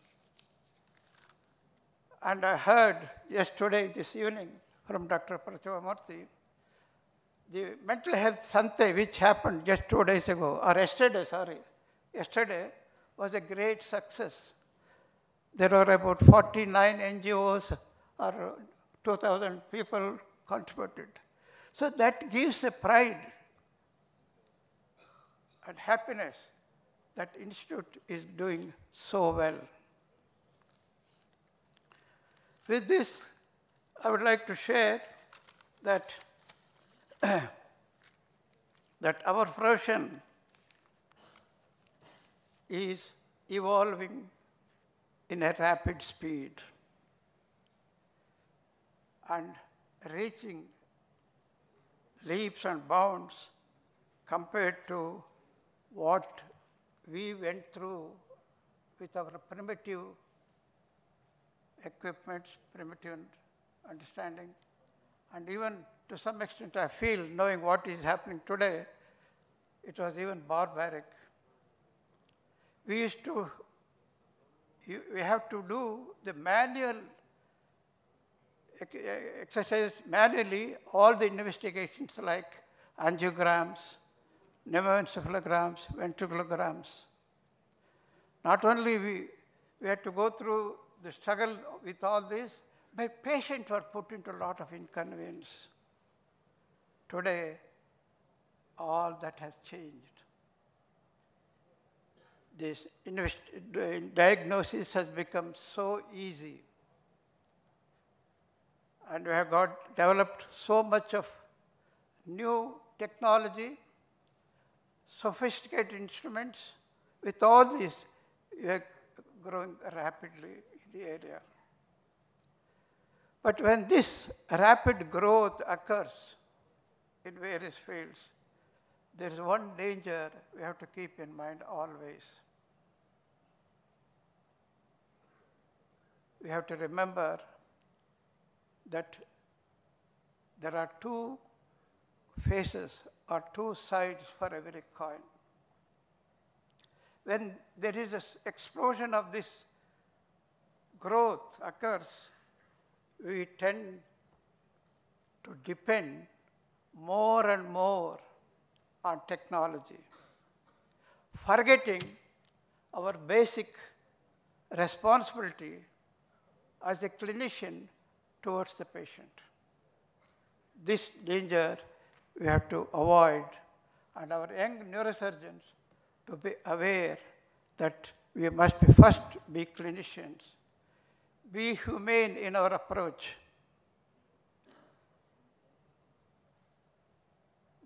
We have to have the first contact, the patient, whoever whom he contacts first, the impression he gets, the confidence he develops, the faith he develops, has that got its own benefits. If the patient is fully confident, has got faith in his doctor, his inner milieu, milieu of that will help in healing the surgical operations and helps in total recovery. Let us not forget that in our sophistication with our highly evolved technologies. They are necessary, but we should keep the, what is our basic role that we should not suffice. Friends, I'm thankful again to all the organizers for giving me this opportunity to be with you and wish and pray that the deliberation of the conference will be a great success next two or three days, even today and tomorrow. And the benefits will reach the patients. That is the main purpose of these conferences and this accumulating knowledge and technology. So thank you very much. Namaste.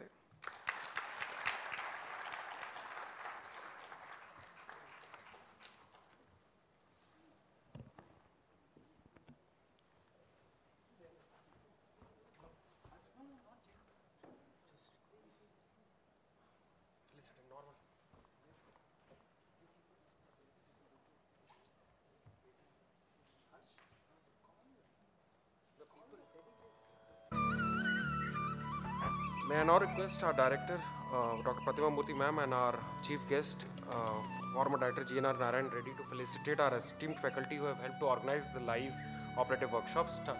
I request Dr. Sebastian Froelich to kindly come to the stage.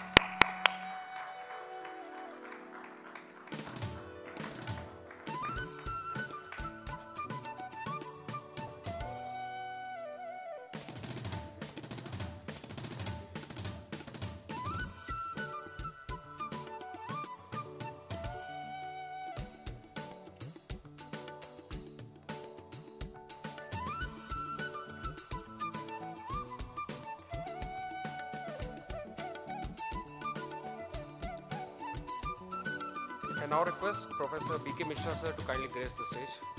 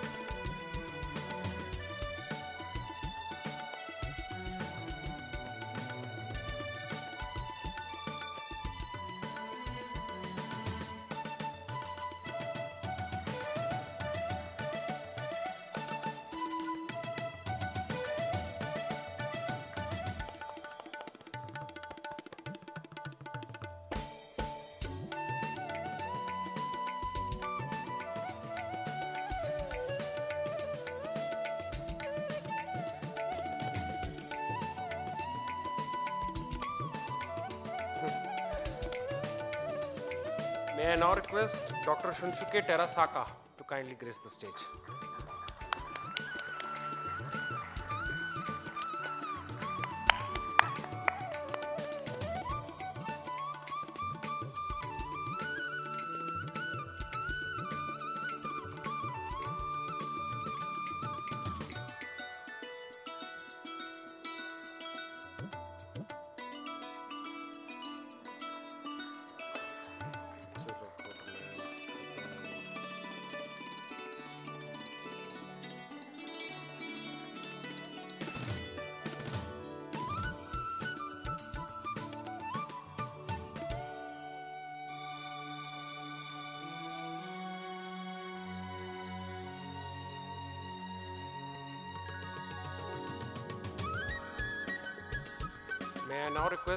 Dr. Takeo Goto to kindly grace the stage.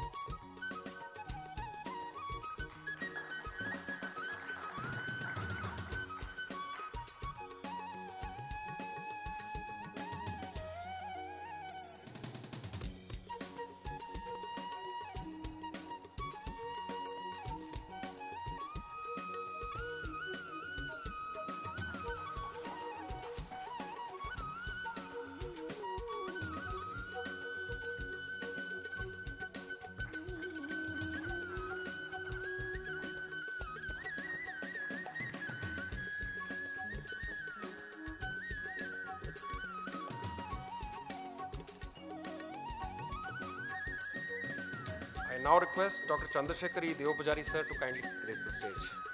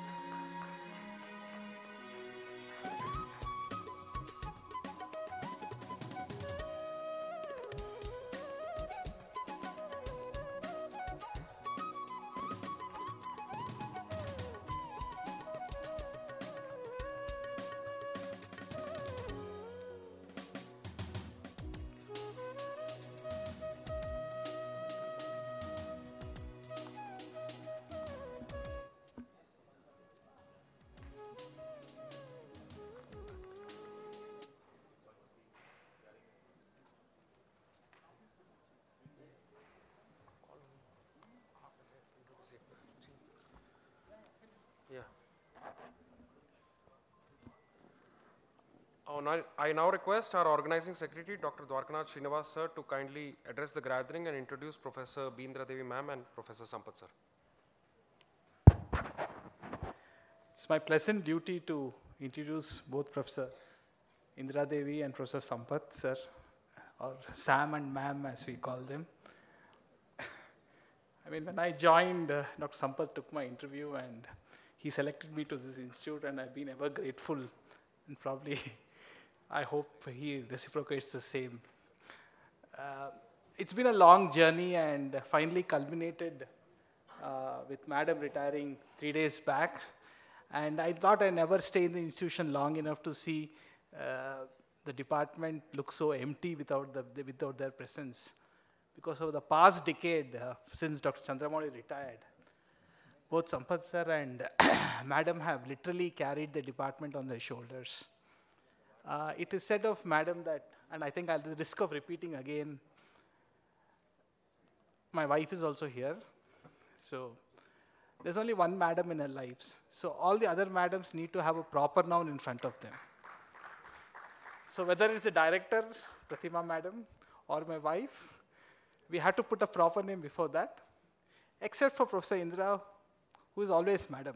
So whenever, for generations of neurosurgeons who ever come to NIMHANS and who have gone from this hall, when we say madam, it means Dr. Indra.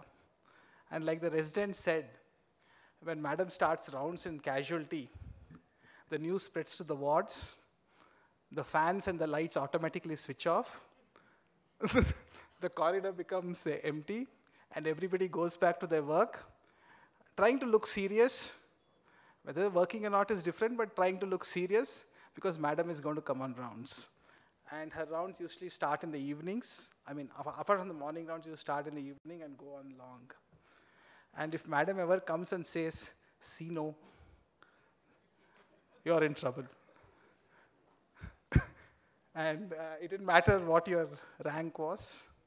If madam says see no, then you have a long lecture ahead of you. I mean, we are proud of our many achievements. Uh, we share the same MS uh, General Surgery from PGI Chandigarh. But what we are more proud of is the way she taught us, the way she carried herself, and the way she inspired generations of uh, neurosurgeons who even today when they come, uh, make it a point at sharp 5 o'clock to go to her office and uh, meet her in the neurosurgery office. I mean, of course, she's been the first senior professor from our department, the first dean of neurosciences from our department, the first controller of examination of neurosurgeons from our department. I think after Kanaka, the second most prominent neurosurgeon of this country. And she has multiple papers, multiple uh, uh, articles, multiple surgeries, specialities, uh, brachial plexus, etc. But more important than them is that the way she inspired a lot of neurosurgeons and especially the girls who felt inspired to take up neurosurgery uh, due to Dr. Indra Devi. So, uh, madam, we are very glad that we have had the opportunity to felicitate you and may we request you to please sit down so that we'll be able to felicitate you. Thank you.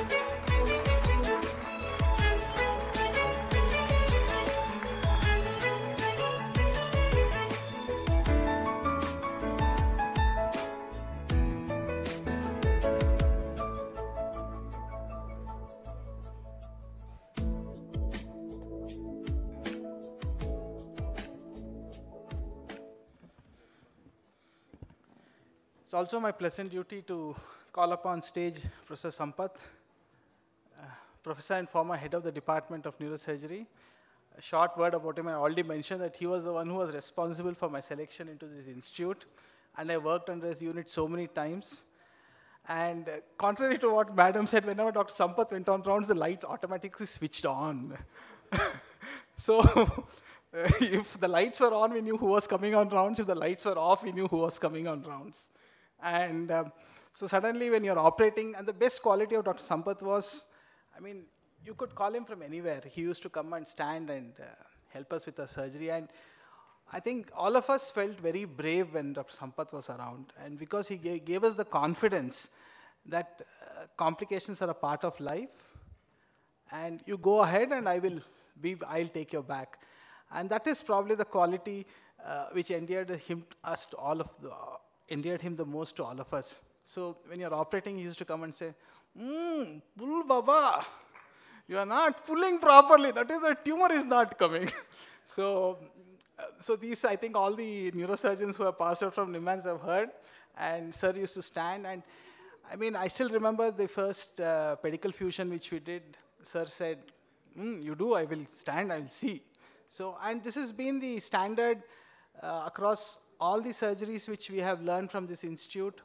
And countless neurosurgeons who have passed out from here will remember him with fondness for his uh, surgical skills. I mean, uh, the, I mean, six years, seven years ago, he started the clival drilling for basilar aneurysms, and endoscopy was introduced into NIMHANS uh, by uh, extended endoscopic approaches were introduced into this institute by him. Uh, the RM Varma block, which you see today constructed, was proposed in his uh, tenure, completed in his tenure, and started. And he has been, I mean, the, all the gadgets which we have was first initiated by Sir in 2011. And he had a pecu- and his uh, punctuality was legendary. I mean, he used to come at 8 o'clock, sharp 8 o'clock, and all of us had to be there uh, when Sir, before Sir came. So thank you, sir, for inspiring a lot of us, including me, and we welcome onto the stage.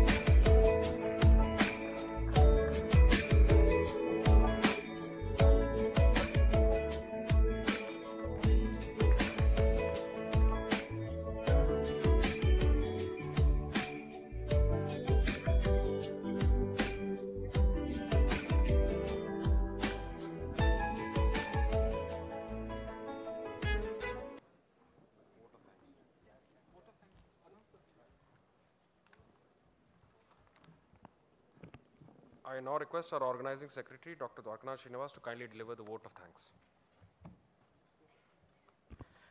Uh, thank you. Uh, it's always a nice thing if you have very nice teachers, and it's even nicer if you have very good students and colleagues. And for the first, I would like to thank all my colleagues in the Department of Neurosurgery and my students who turned out to be my colleagues, um, starting with Ari Narsingh Rao, who I think was remote controlling from Vishakhapatnam, sometimes. um, Alok, Dhaval, Nupur, uh, Harsh, Gaurav, uh, Subhash, Gyani, uh, all of you, I mean, uh, it's a pleasure to, I mean, you are, you are our students and now you are my colleagues and it's a pleasure to have you in the department and you have been very helpful. The residents, of course, have been usually fantastic, except that they come late. but uh, they, whatever work we are given, they always do it and it's really nice to have such a nice bunch of residents. Um, I mean, uh, we've tried to incorporate everything. Uh, we've had the cadaver workshop, we've had the uh, temporal bone drilling. Today we had the live operative surgery, and keeping my fingers crossed, it went off quite okay, I guess. Uh, of course, there are going to be shortcomings, and the shortcomings are all ours, uh, mine rather. And I hope all of you who have come to this city, the Garden City, we are enjoying a very nice bit of weather, uh, for which Bangalore is very well known for. And I hope you enjoy the city, enjoy the institute, and uh, enjoy the academic feast which you have uh, left for the next two days. Welcome to Bangalore, and thank you, and thank you for coming and making this conference a grand, grand success. And before I end, I'd also like to thank all our sponsors who had, who had a back and who have contributed generously to organizing this conference and making it a grand success. And also the audiovisual team led by Ravi and the Marundeshwara by Gautam, who had done a fantastic job in putting this organization together. Thank you all, and welcome to NIMHANS. Thank you.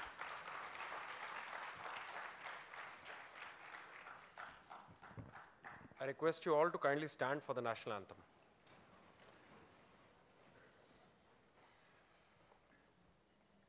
Jana Gana Mana अधिनायक जय हे। भारत भाग्य विधाता। पञ्जाब सिन्ध गुजरात मराठा द्राविड उत्कल वङ्गा विन्ध्य हिमाचल यमुना गङ्गा उच्चल जलधितरङ्गा तव शुभ नामे जागे तव शुभ आशिष मागे। गाहे तव जय गाथा जनगण मङ्गलदायक जय हे भारत भाग्य विधाता। जय हे जय हे जय हे जय जय जय हे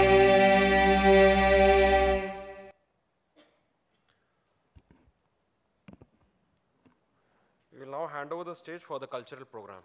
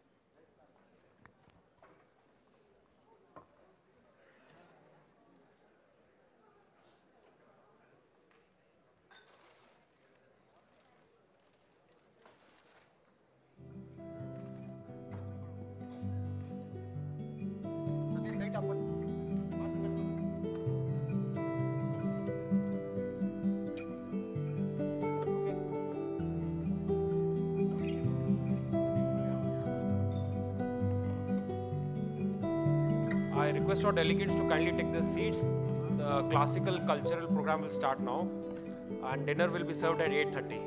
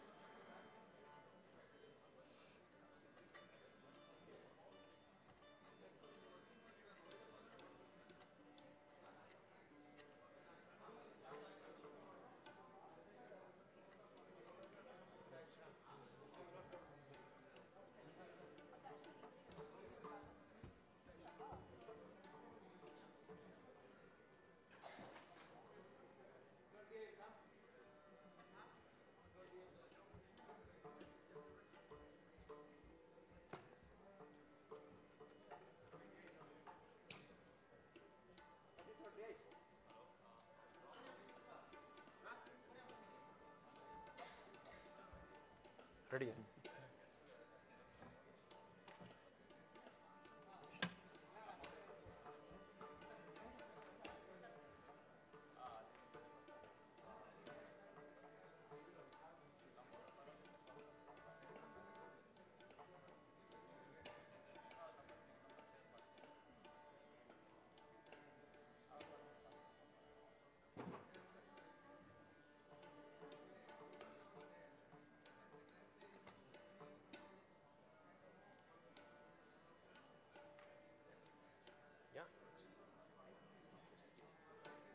Can talk till then. Introduce yourself or something. While the sound check is going on, can you Check, talk? check, check. Check, one. Check, check, check. Hello. Check. Test one, check, check. Hello. Hello, check, check, check. Check.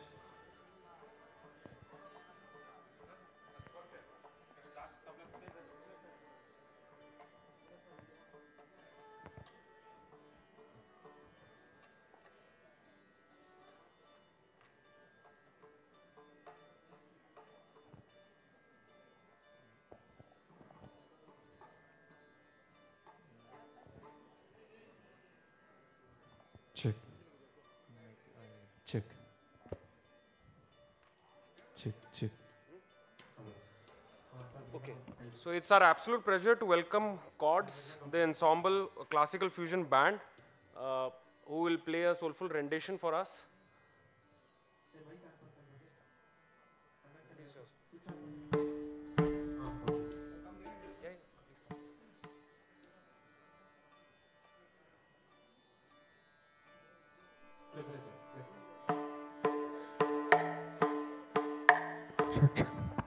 Hello all.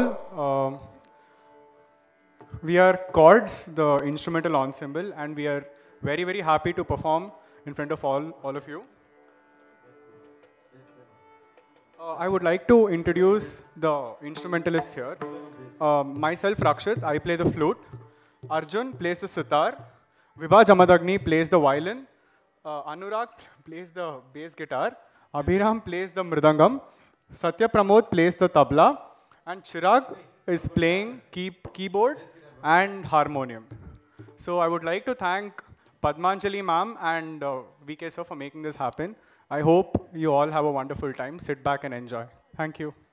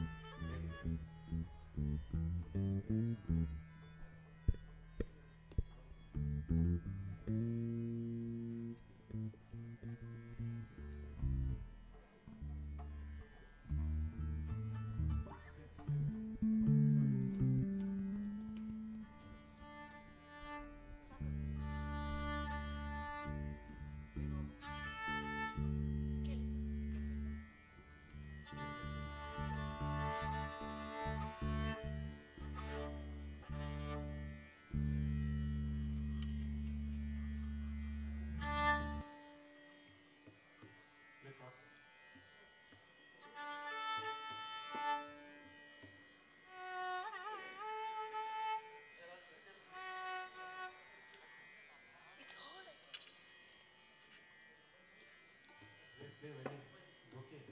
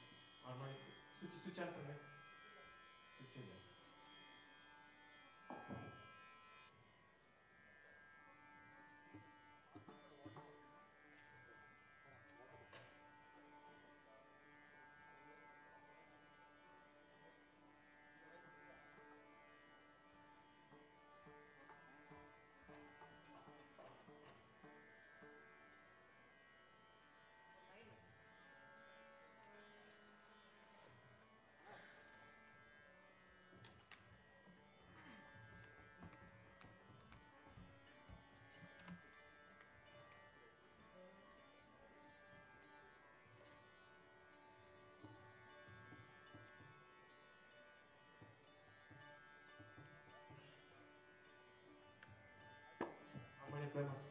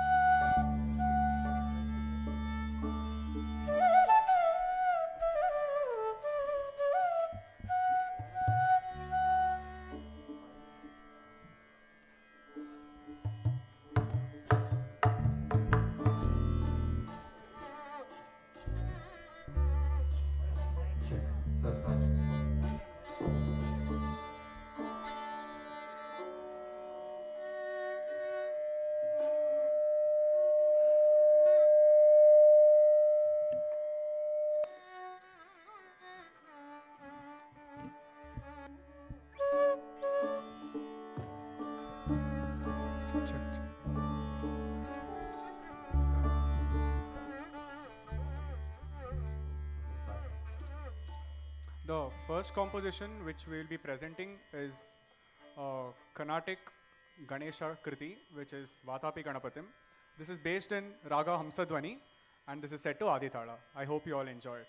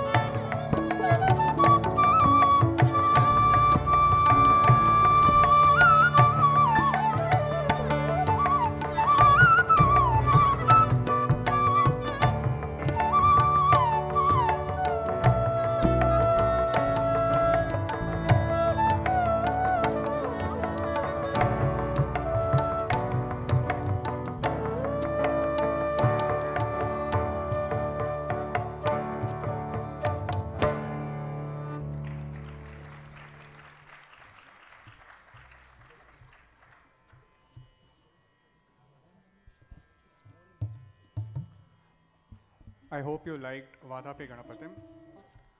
The next composition is going to be a small instrumental composition in the raga Behag, and this is set to Adithala. I hope you all like it.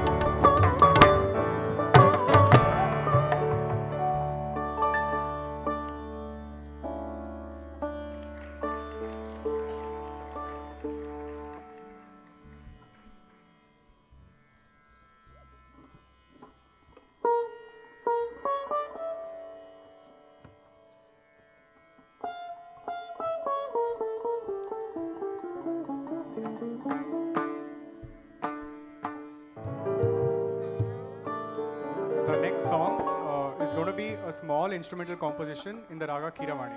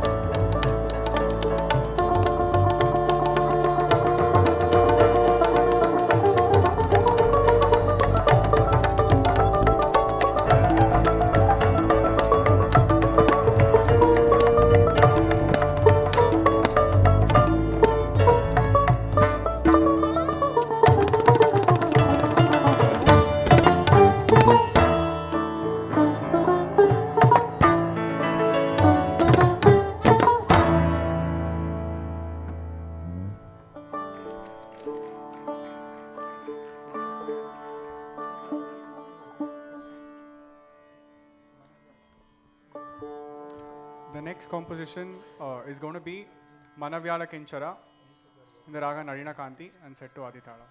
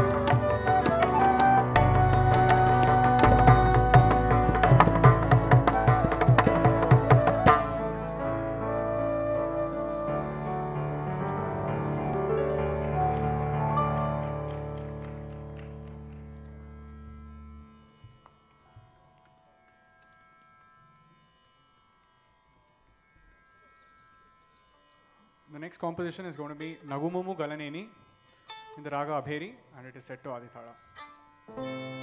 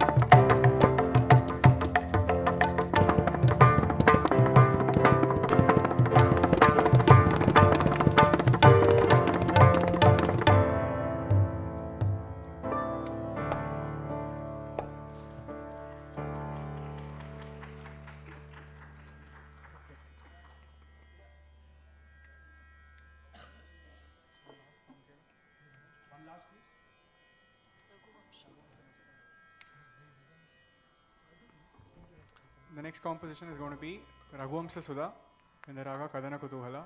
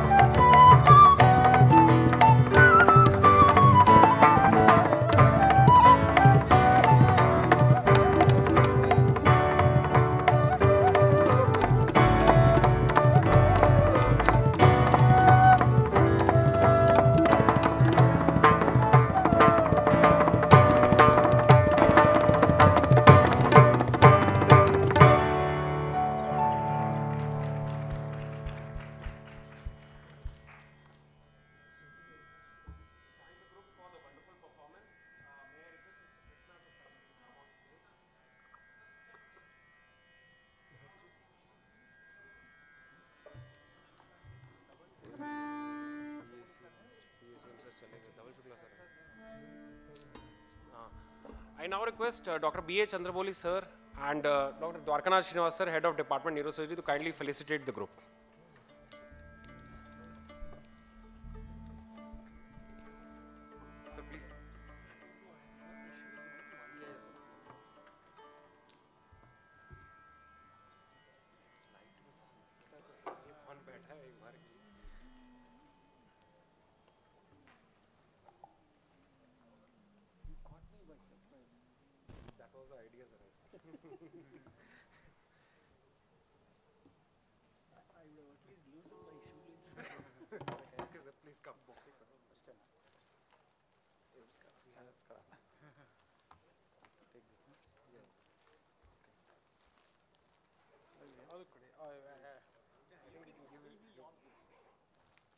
Can they come here or?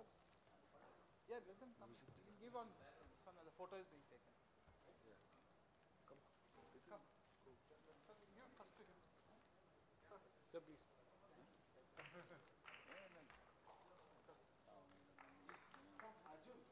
Come one by one.